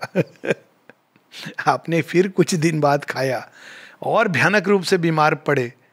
तीसरी बार खाया, मरणासन्न हो गए, मरण सैया पे आ गए। तो भगवान बाद में आप कहते हो, बात तो है कुछ। I think I had enough तो आप वेजिटेरियन बन जाते हो। अंडर इस स्टोरी के साथ क्लोज की भगवान का अपना तरीका है। जब आप आप उनके कहने से, ये एक स्टोरी है डोंट टेक इट की नॉन वेज वेज तो एक सज्जन थे घोर वेजिटेरियन, उनकी वाइफ उतनी बड़ी, घोर नॉन वेजिटेरियन उनकी वाइफ उतनी बड़ी वेजिटेरियन तो भगवान से रोज प्रार्थना करती थी, इसको ये आदत तो छुड़ा दो। अब वो दुर्गा पूजा के दिन सब नॉन वेजिटेरियन ला करके पूरा सर्व करते थे। एक दिन, एक वर्ष उन्होंने कहा भारिये कल दुर्गा पूजा के दिन हम लोग केवल वेजिटेरियन खाना सर्व करेंगे। अरे, भगवान ने मेरी सुन ली, भगवान ने मेरी सुन ली, माँ दुर्गा महान हो आप। तो कुछ नहीं बोला। सब वेजिटेरियन खाना इतनी प्रसन्न हुई उनकी वाइफ रात को उनके पाँव दबाने लगी, आँखों से आँसू की, आज आपने मेरे, क्या कर दिया? इतना अद्भुत। बरसों से मैंने प्रे किया था, इसके लिए आज घटित हो गया। तो कहते, तुम तो मेरे जले पर नमक मत लगाओ। क्या मतलब? देख नहीं रही है कि मेरे सारे दांत टूट गए, मैं नॉन नॉन वेजिटेरियन खाऊं तो कैसे खाऊं? तो जब हम अपने आप नहीं छोड़ते हैं तो भगवान कभी कभी मुक्का मार के दांत भी तोड़ देते हैं। तो वो भी उन्हीं का मुक्का है। ब्लोज शेरविंद कहते हैं ना what are blows blows are also a grace तो हमें इसी भाव से जीना चाहिए, कम से कम उन लोगों को जो महर्षि अरविंद की ओर मुड़े that everything is a grace blows also are a grace not that it is a good way to go अब मुक्का क्यों मारना पड़ता है? भगवान को पसंद नहीं है मुक्का मार के दांत तोड़ना। अब हम हिरण्य कश्यप की तरह ये कंडीशन भी नहीं, वो नहीं। अब हम ये सब कर लेंगे तो भगवान हम क्या, बच जाएँगे? भगवान कह रहे, नहीं मैं फिर भी तुमको पकड़वा दूँगा। तो अंत में आप शरणागति होते हैं। What is the ultimate truth किसी ने पूछा फ्री विल और साथ में सरेंडर रिकनसाइल कैसे होते हैं? तो बहुत सिंपल है। आप फ्री विल लेके भगवान ने आपको नेचर ने आपको फ्री विल का उपहार दे दिया। आपको लगा, बहुत अच्छी बात है, मैं अपनी फ्री विल इग्नोरेंस का खेल है। But it is been given to us choose करते रहते, करते। आपको अंत में पता चलता है, होता कुछ नहीं आपकी फ्री विल से। वो किसी ने कहा ना, वही होता है जो मंजूर खुदा होता है। लास्ट में आप रियलाइज़ करते हो तो फिर रियलाइज़ करते हो कि what is the most intelligent thing to do surrender it to the all will लेकिन वो सरेंडर आपकी फ्री विल का सरेंडर होना चाहिए। क्योंकि यदि भगवान ज़बरदस्ती आपको सरेंडर करने को विवश कर दें तो वी विल नॉट चेंज कोई भी काम जब ज़बरदस्ती किया जाता है तो भगवान एक सीक्रेट कंपल्शन लगाए रखते हैं। अंत में आप कहाँ पहुँचते हो? हे भगवान, आप ही की शरणागति। जितनी जल्दी हम ये लेसन सीख जाएँ कि फ्री विल हमको दी गई है to surrender to the divine will in freedom उतनी जल्दी हमारा कल्याण होगा।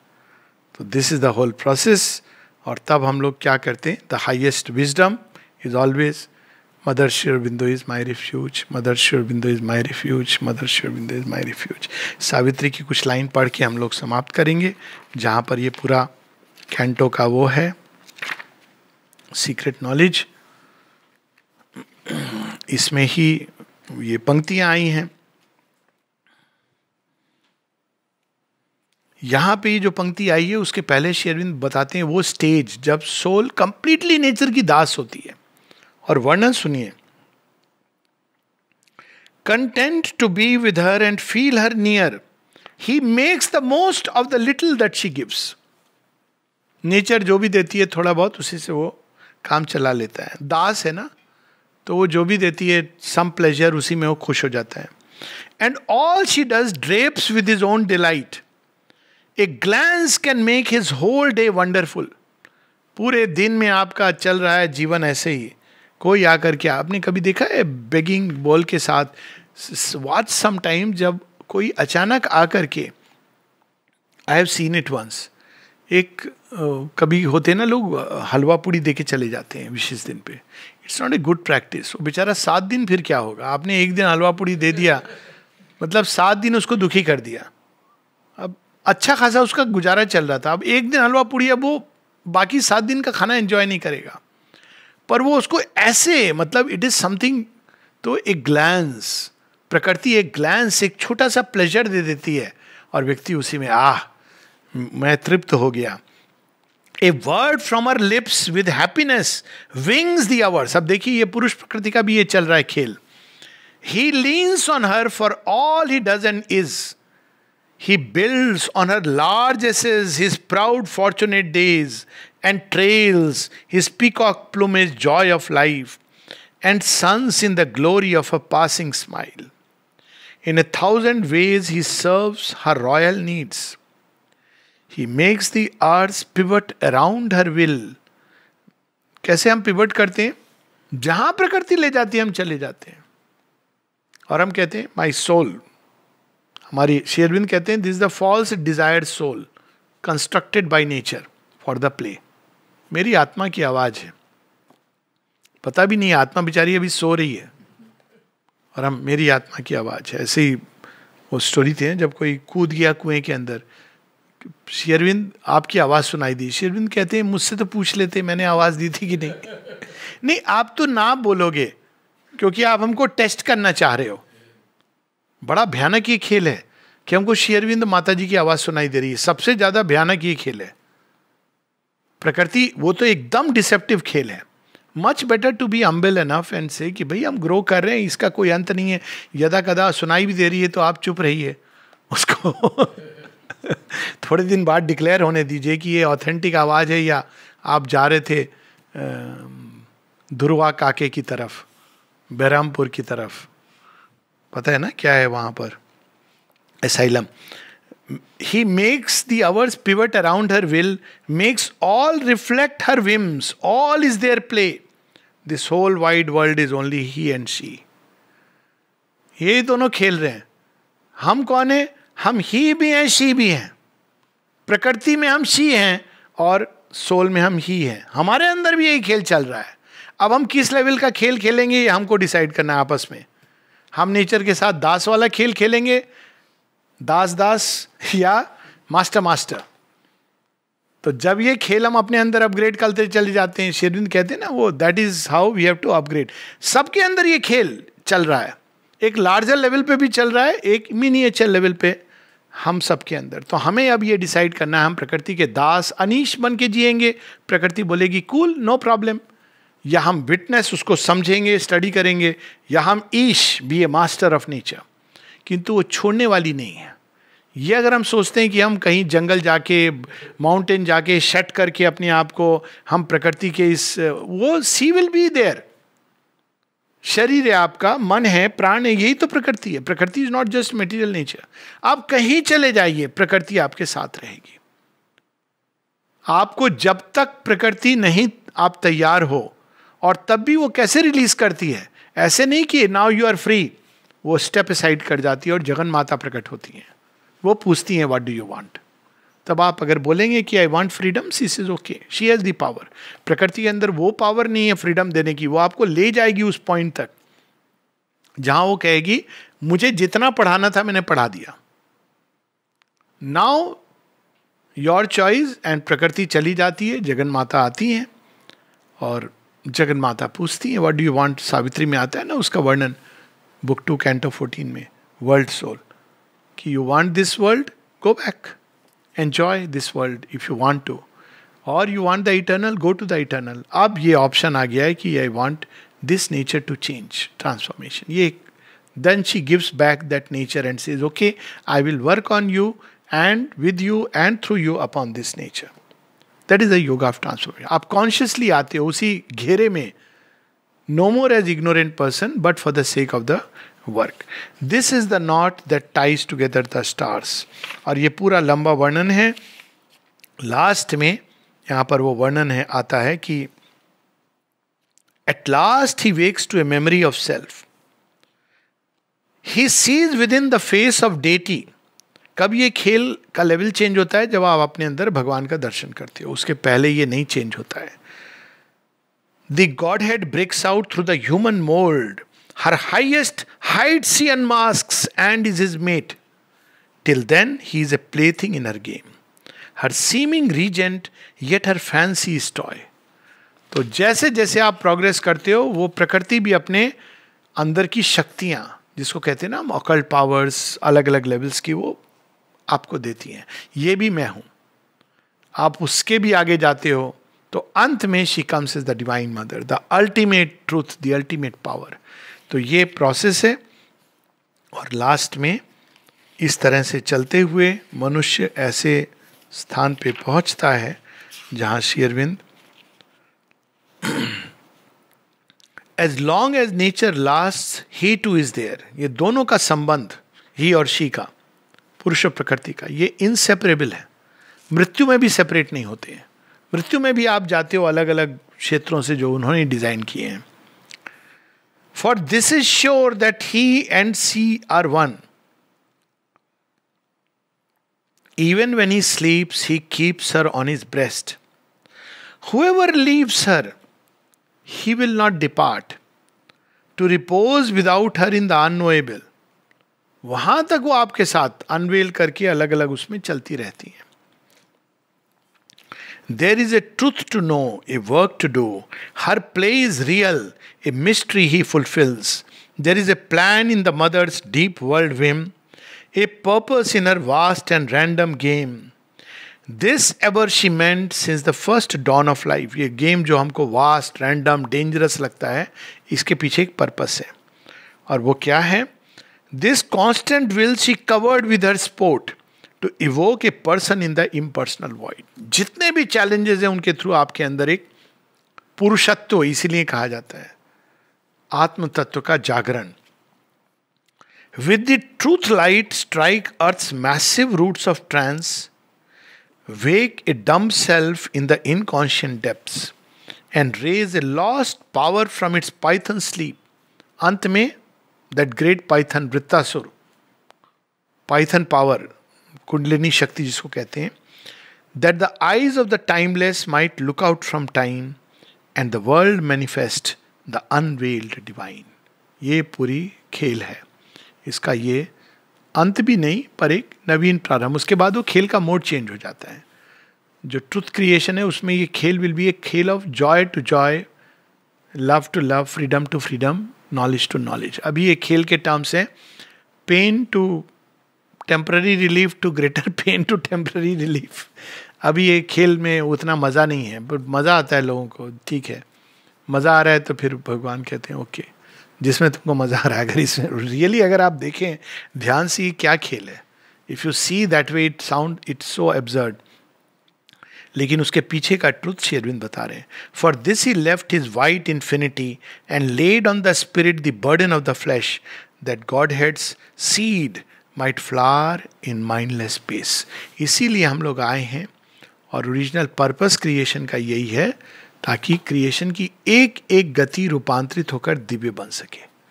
ओरिजिन हमारी दिव्य है ब्लिस है ट्रुथ है कॉन्शियस है कॉन्शियसनेस है फोर्स है। तो वही चीज़ अंत में भी आएगी।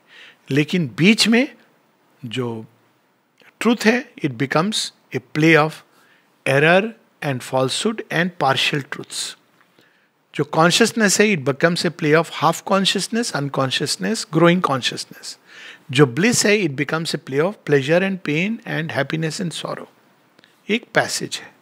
लेकिन इसका अंत है forever dwelling constantly in a state of inalienable bliss and light and beauty and wideness and truth and force and the infinite's ananda.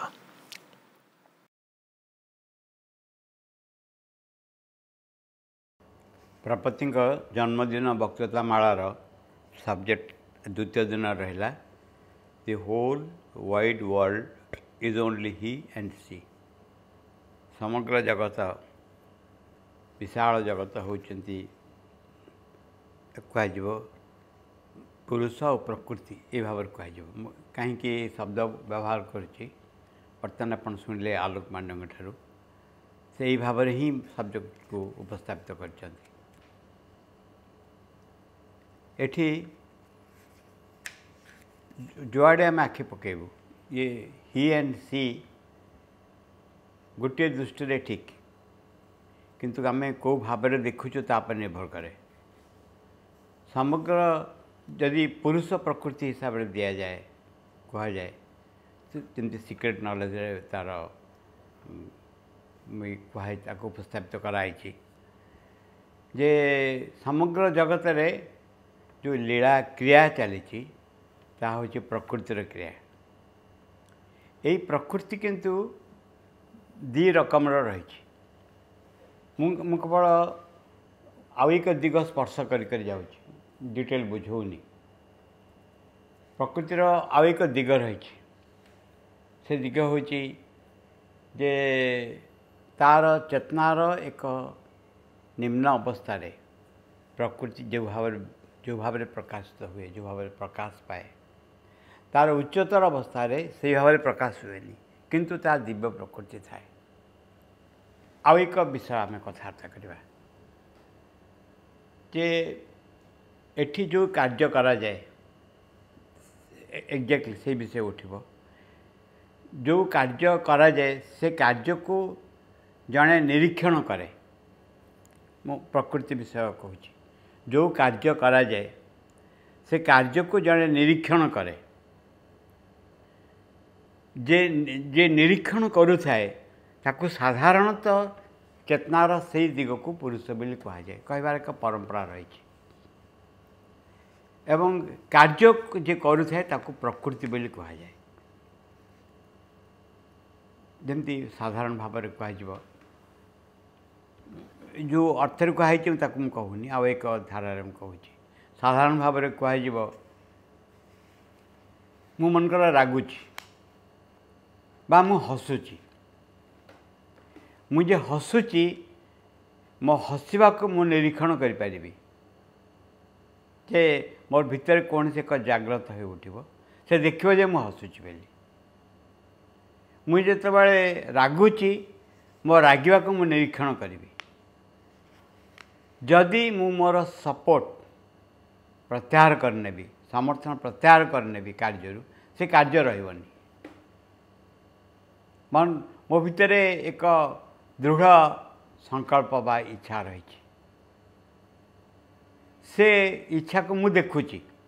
ମୁଁ ଯଦି ତା ସେଥିରୁ ସେ କାର୍ଯ୍ୟରୁ ମୋର ସମର୍ଥନ ପ୍ରତ୍ୟାହାର କରିନେବି ସେ ଧୀରେ ଧୀରେ କ୍ରମ୍ବଲ୍ ଡାଉନ୍ ଭାଙ୍ଗି ଭାଙ୍ଗିଯିବାକୁ ଆରମ୍ଭ କରିବ।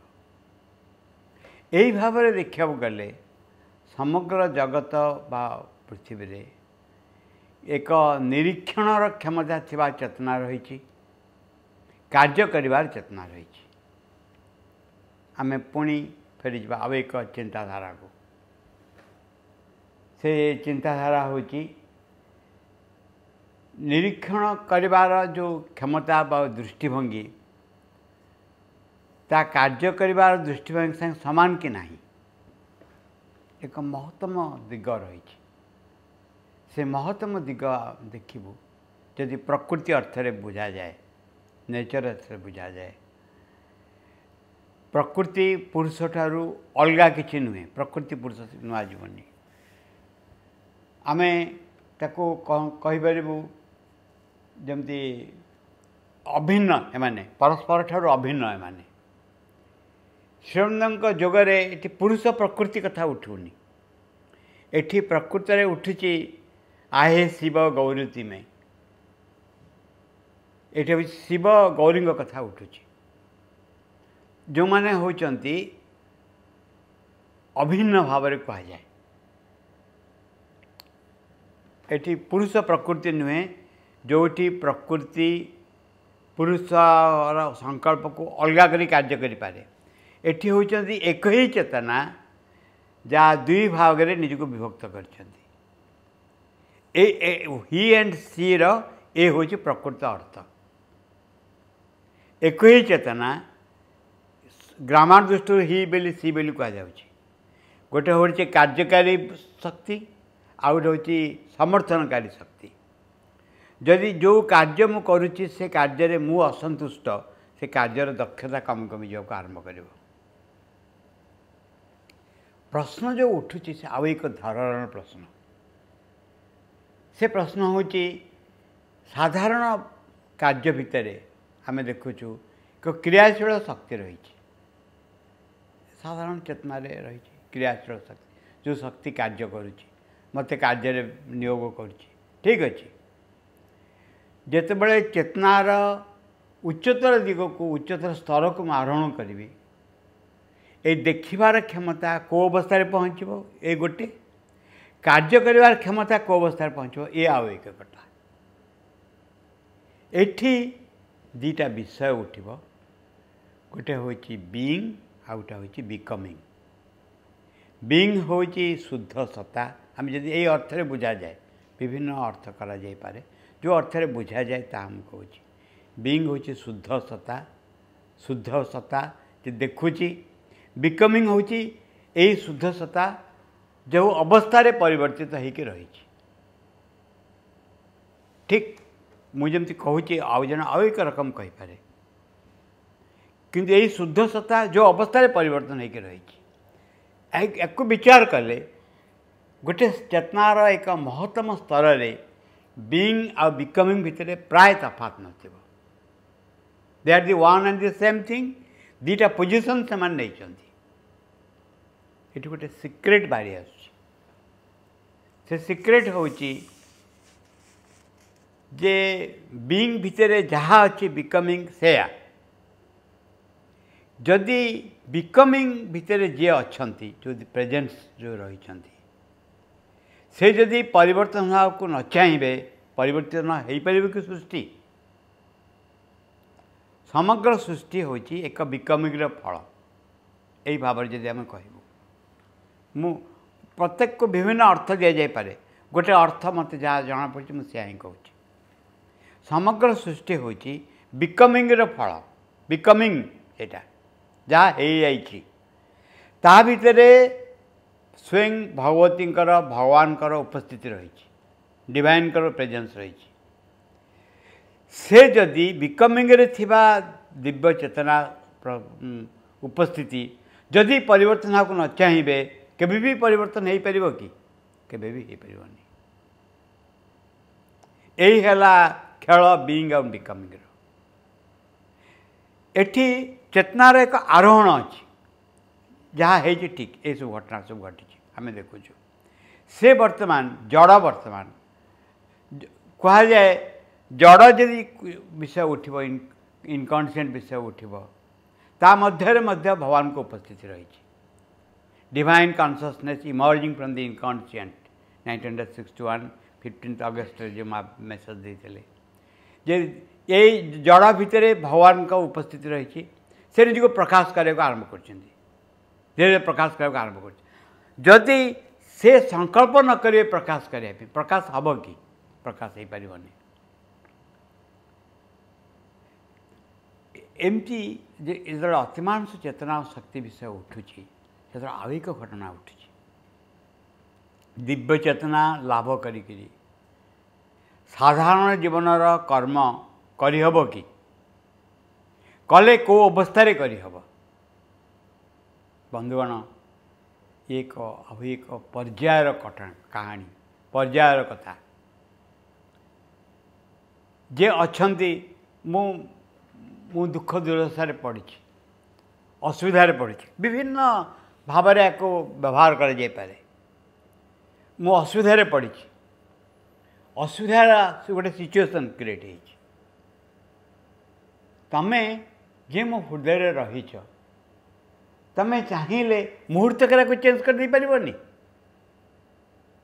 ଯେଉଁ ରକମ ଅସୁବିଧା ଭିତରେ ମୁଁ ପଡ଼ିଛି ତମେ ଯଦି ଚାହ ଅସୁବିଧା ଭିତରେ ପଡ଼ିଛି କାରଣ ବିଭିନ୍ନ କାରଣ ଅଛି ବିଭିନ୍ନ ଘଟଣା ଯାହା ଯାହା ଦେଖାଯାଉଛି ହୁଏତ ତୁମେ କହିପାର ମୁଁ ୟାର ଏଇ ଜିନିଷ ଅନୁଭବ କରିବା ଦରକାର ବୋଲି ମୁଁ ଅନୁଭବ କରୁଛି ଠିକ୍ ଅଛି ସବୁ ସବୁ ଏକ୍ସପ୍ଲାନେସନ୍ ଅଲ୍ ରାଇଟ୍ କିନ୍ତୁ ତୁମେ ଯେ ମୋ ହୃଦୟରେ ରହିଛ ତୁମେ ଚାହିଁଲେ ୟାକୁ ପରିବର୍ତ୍ତନ କରିଦେଇପାରିବନି ଗୋଟିଏ ମୁହୂର୍ତ୍ତରେ ପରିବର୍ତ୍ତନ ହେଇପାରିବ ତୁମେ ଚାହିଁଲେ କ'ଣ ନ ହେଇପାରିବ ସବୁ ହେଇପାରିବ ଏଇ ଭାବରେ becoming becoming conscious of the being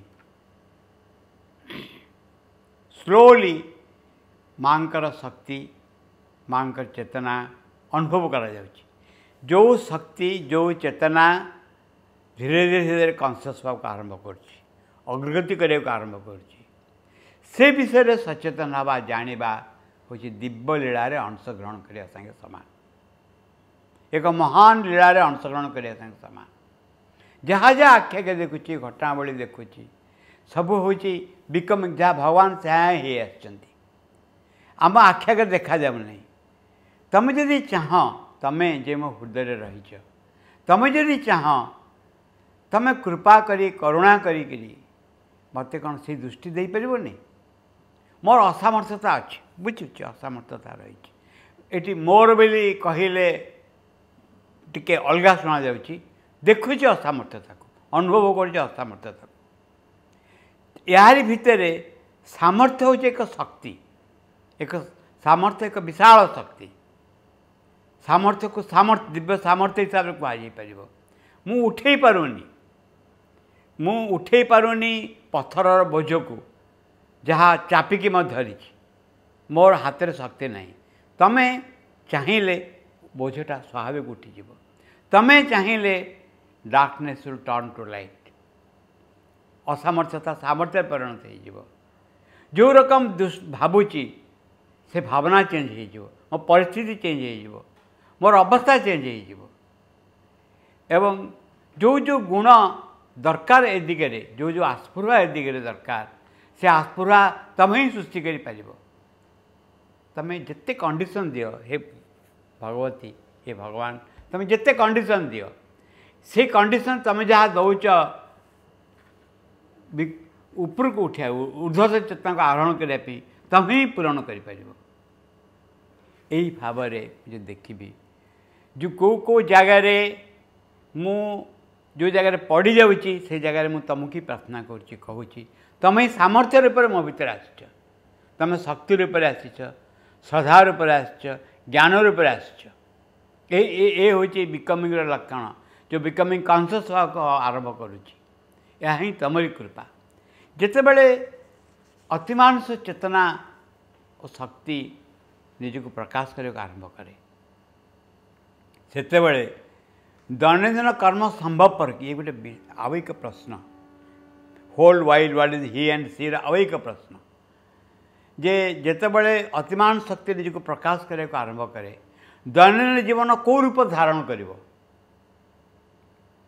ମୋର କାର୍ଯ୍ୟଧାରା କେମିତି ଧାରଣ କରିବ କାର୍ଯ୍ୟଧାରା ମଧ୍ୟ ପରିବର୍ତ୍ତନ ହୋଇଯିବ ଦିବ୍ୟ ଚେତନା ଆମେ ଅଭ୍ୟସ୍ତ ହୋଇଯାଇଛୁ କେଉଁଥିରେ ନା ଅଭ୍ୟସ୍ତ ହୋଇଯାଇଛୁ ସାଧାରଣ ଚିନ୍ତାରେ ଯୁକ୍ତି ବୁଦ୍ଧିରେ ପ୍ରାଣର କାମନା ବାସନାରେ ଦେହର ତାମସିକତା ଜଡ଼ତାରେ ଅବ୍ୟସ୍ତ ହେଇଯାଇଛୁ ଏହାର ଉଚ୍ଚତର ସ୍ଥିତି ସମ୍ଭବପର କି ଏବଂ ଉଚ୍ଚତର ସ୍ଥିତିରେ ରହି ଦୈନନ୍ଦିନ କର୍ମ ସମ୍ଭବପର କି ଯେଉଁ ଅସୁବିଧାଟା ଦେଖାଦିଏ ଯେଉଁ ଅସୁବିଧାଟା ଆମ ପାଖରେ ବାରମ୍ବାର ଆସେ ତାହା ହେଉଛି ଏକ ଉଚ୍ଚତର ଚେତନା ଏକ ସ୍ପର୍ଶ ଲାଭ କଲେ ବି ଆମେ ଯେମିତି ଏକ ବାଟ ଫିଟିଗଲା ଭଳିଆ ଲାଗେ ଆମକୁ ଲାଗେ ସେଇ ବାଟ ହିଁ ଚାଲିଯିବା ବାକି ତାହା ଜିନିଷ ଯାହା ହେଉଛି ପଛେ ହଉ ତା ନ କରିକିରି ସମଗ୍ର ଜୀବନକୁ ଭଗବାନଙ୍କର ଭଗବତୀଙ୍କର ଲୀଳା କ୍ଷେତ୍ରରେ ପରିଣତ କରିବା ଦୈନନ୍ଦିନ ଜୀବନକୁ ସ୍ୱୀକାର କରି ତା ଦେହରେ ମାଆଙ୍କୁ ଡାକି ଆଣିବା ଇଏ ହେଉଛି ବିକମିଂ ହେବାର ଏକ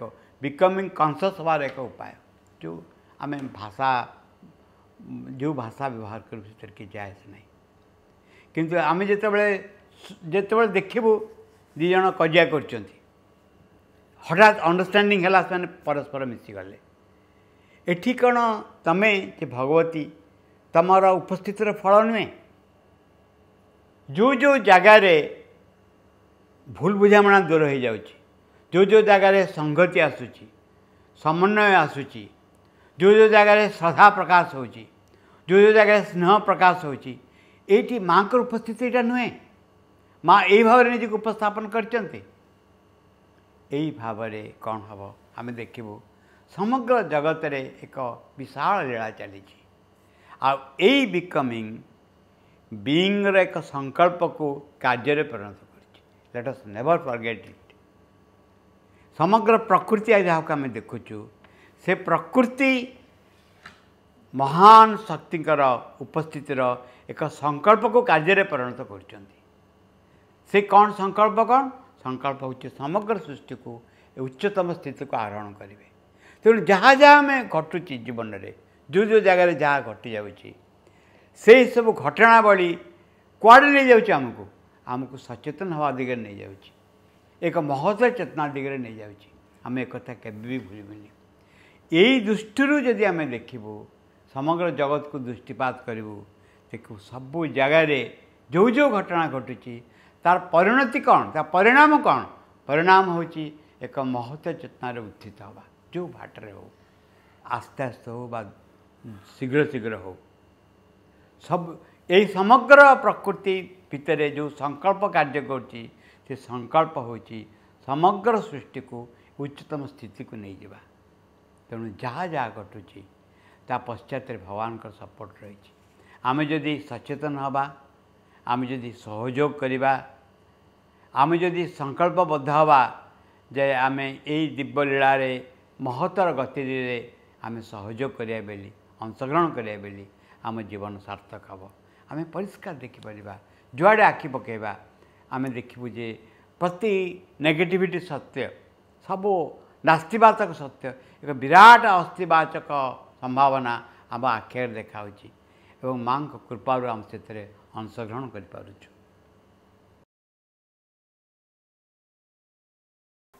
ଶ୍ରୀମାତା ଶରଣମ୍ ମମ ଶ୍ରୀ ଅରବିନ୍ଦ ଶରଣମ୍ ମମ ଆପଣ ସମସ୍ତଙ୍କୁ ମୋର ସାଦର ପ୍ରଣାମ ବନ୍ଦେ ମାତରମ୍।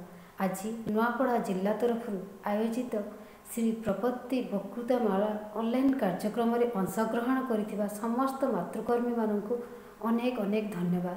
ନୂଆପଡ଼ା ଜିଲ୍ଲାର ଜିଲ୍ଲା ସଂଗଠକ ଶ୍ରୀଯୁକ୍ତ ଅଜୟ କୁମାର ମଲ୍ଲିକ ଭାଇ ଯାହାଙ୍କର ସ୍ୱାଗତ ସମ୍ଭାଷଣର ସହିତ ଆଜିର ଏହି ସଭାର ଅୟମ ଆରମ୍ଭ ହୋଇଥିଲା ତାଙ୍କୁ ହୃଦୟର ଗଭୀର କନ୍ଦରରୁ ଧନ୍ୟବାଦ ଜଣାଉଛି।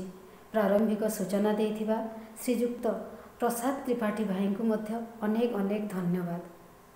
ପ୍ରଭୁ ଶ୍ରୀ ଅରବିନ୍ଦଙ୍କ ଲେଖନୀ ନିଃସୃତ କବିତା ପାଠ କରି ପ୍ରଭୁଙ୍କ ଉପସ୍ଥିତିର ଅନୁଭବ କରାଇଥିବାରୁ ଡକ୍ଟର ଶ୍ୟାମା କାନୁନଗୋ ଅପାଙ୍କୁ ଅନେକ ଅନେକ ଧନ୍ୟବାଦ the whole world is only he or she ପ୍ରସଙ୍ଗର ଚମତ୍କାର ଉପସ୍ଥାପନା ଦ୍ୱାରା ଆମ ସମସ୍ତଙ୍କର ଜ୍ଞାନବର୍ଦ୍ଧନ କରିଥିବାରୁ ଡକ୍ଟର ଆଲୋକ ପାଣ୍ଡେ ଭାଇଙ୍କୁ ବିଶେଷ ଧନ୍ୟବାଦ ଡକ୍ଟର ପାଣ୍ଡେ ମହୋଦୟ ସୁଦୂର ପଣ୍ଡିଚେରୀରେ ରହି ମଧ୍ୟ ସଦାସର୍ବଦା ଆମ ସମସ୍ତଙ୍କୁ ସହଯୋଗର ହାତ ବଢ଼ାଇଛନ୍ତି ଆପଣଙ୍କର ଏହି ସାହାଯ୍ୟ ଓ ସହଯୋଗ ପାଇଁ ଆମ ସମସ୍ତଙ୍କ ତରଫରୁ ଅନେକ ଅନେକ ଧନ୍ୟବାଦ।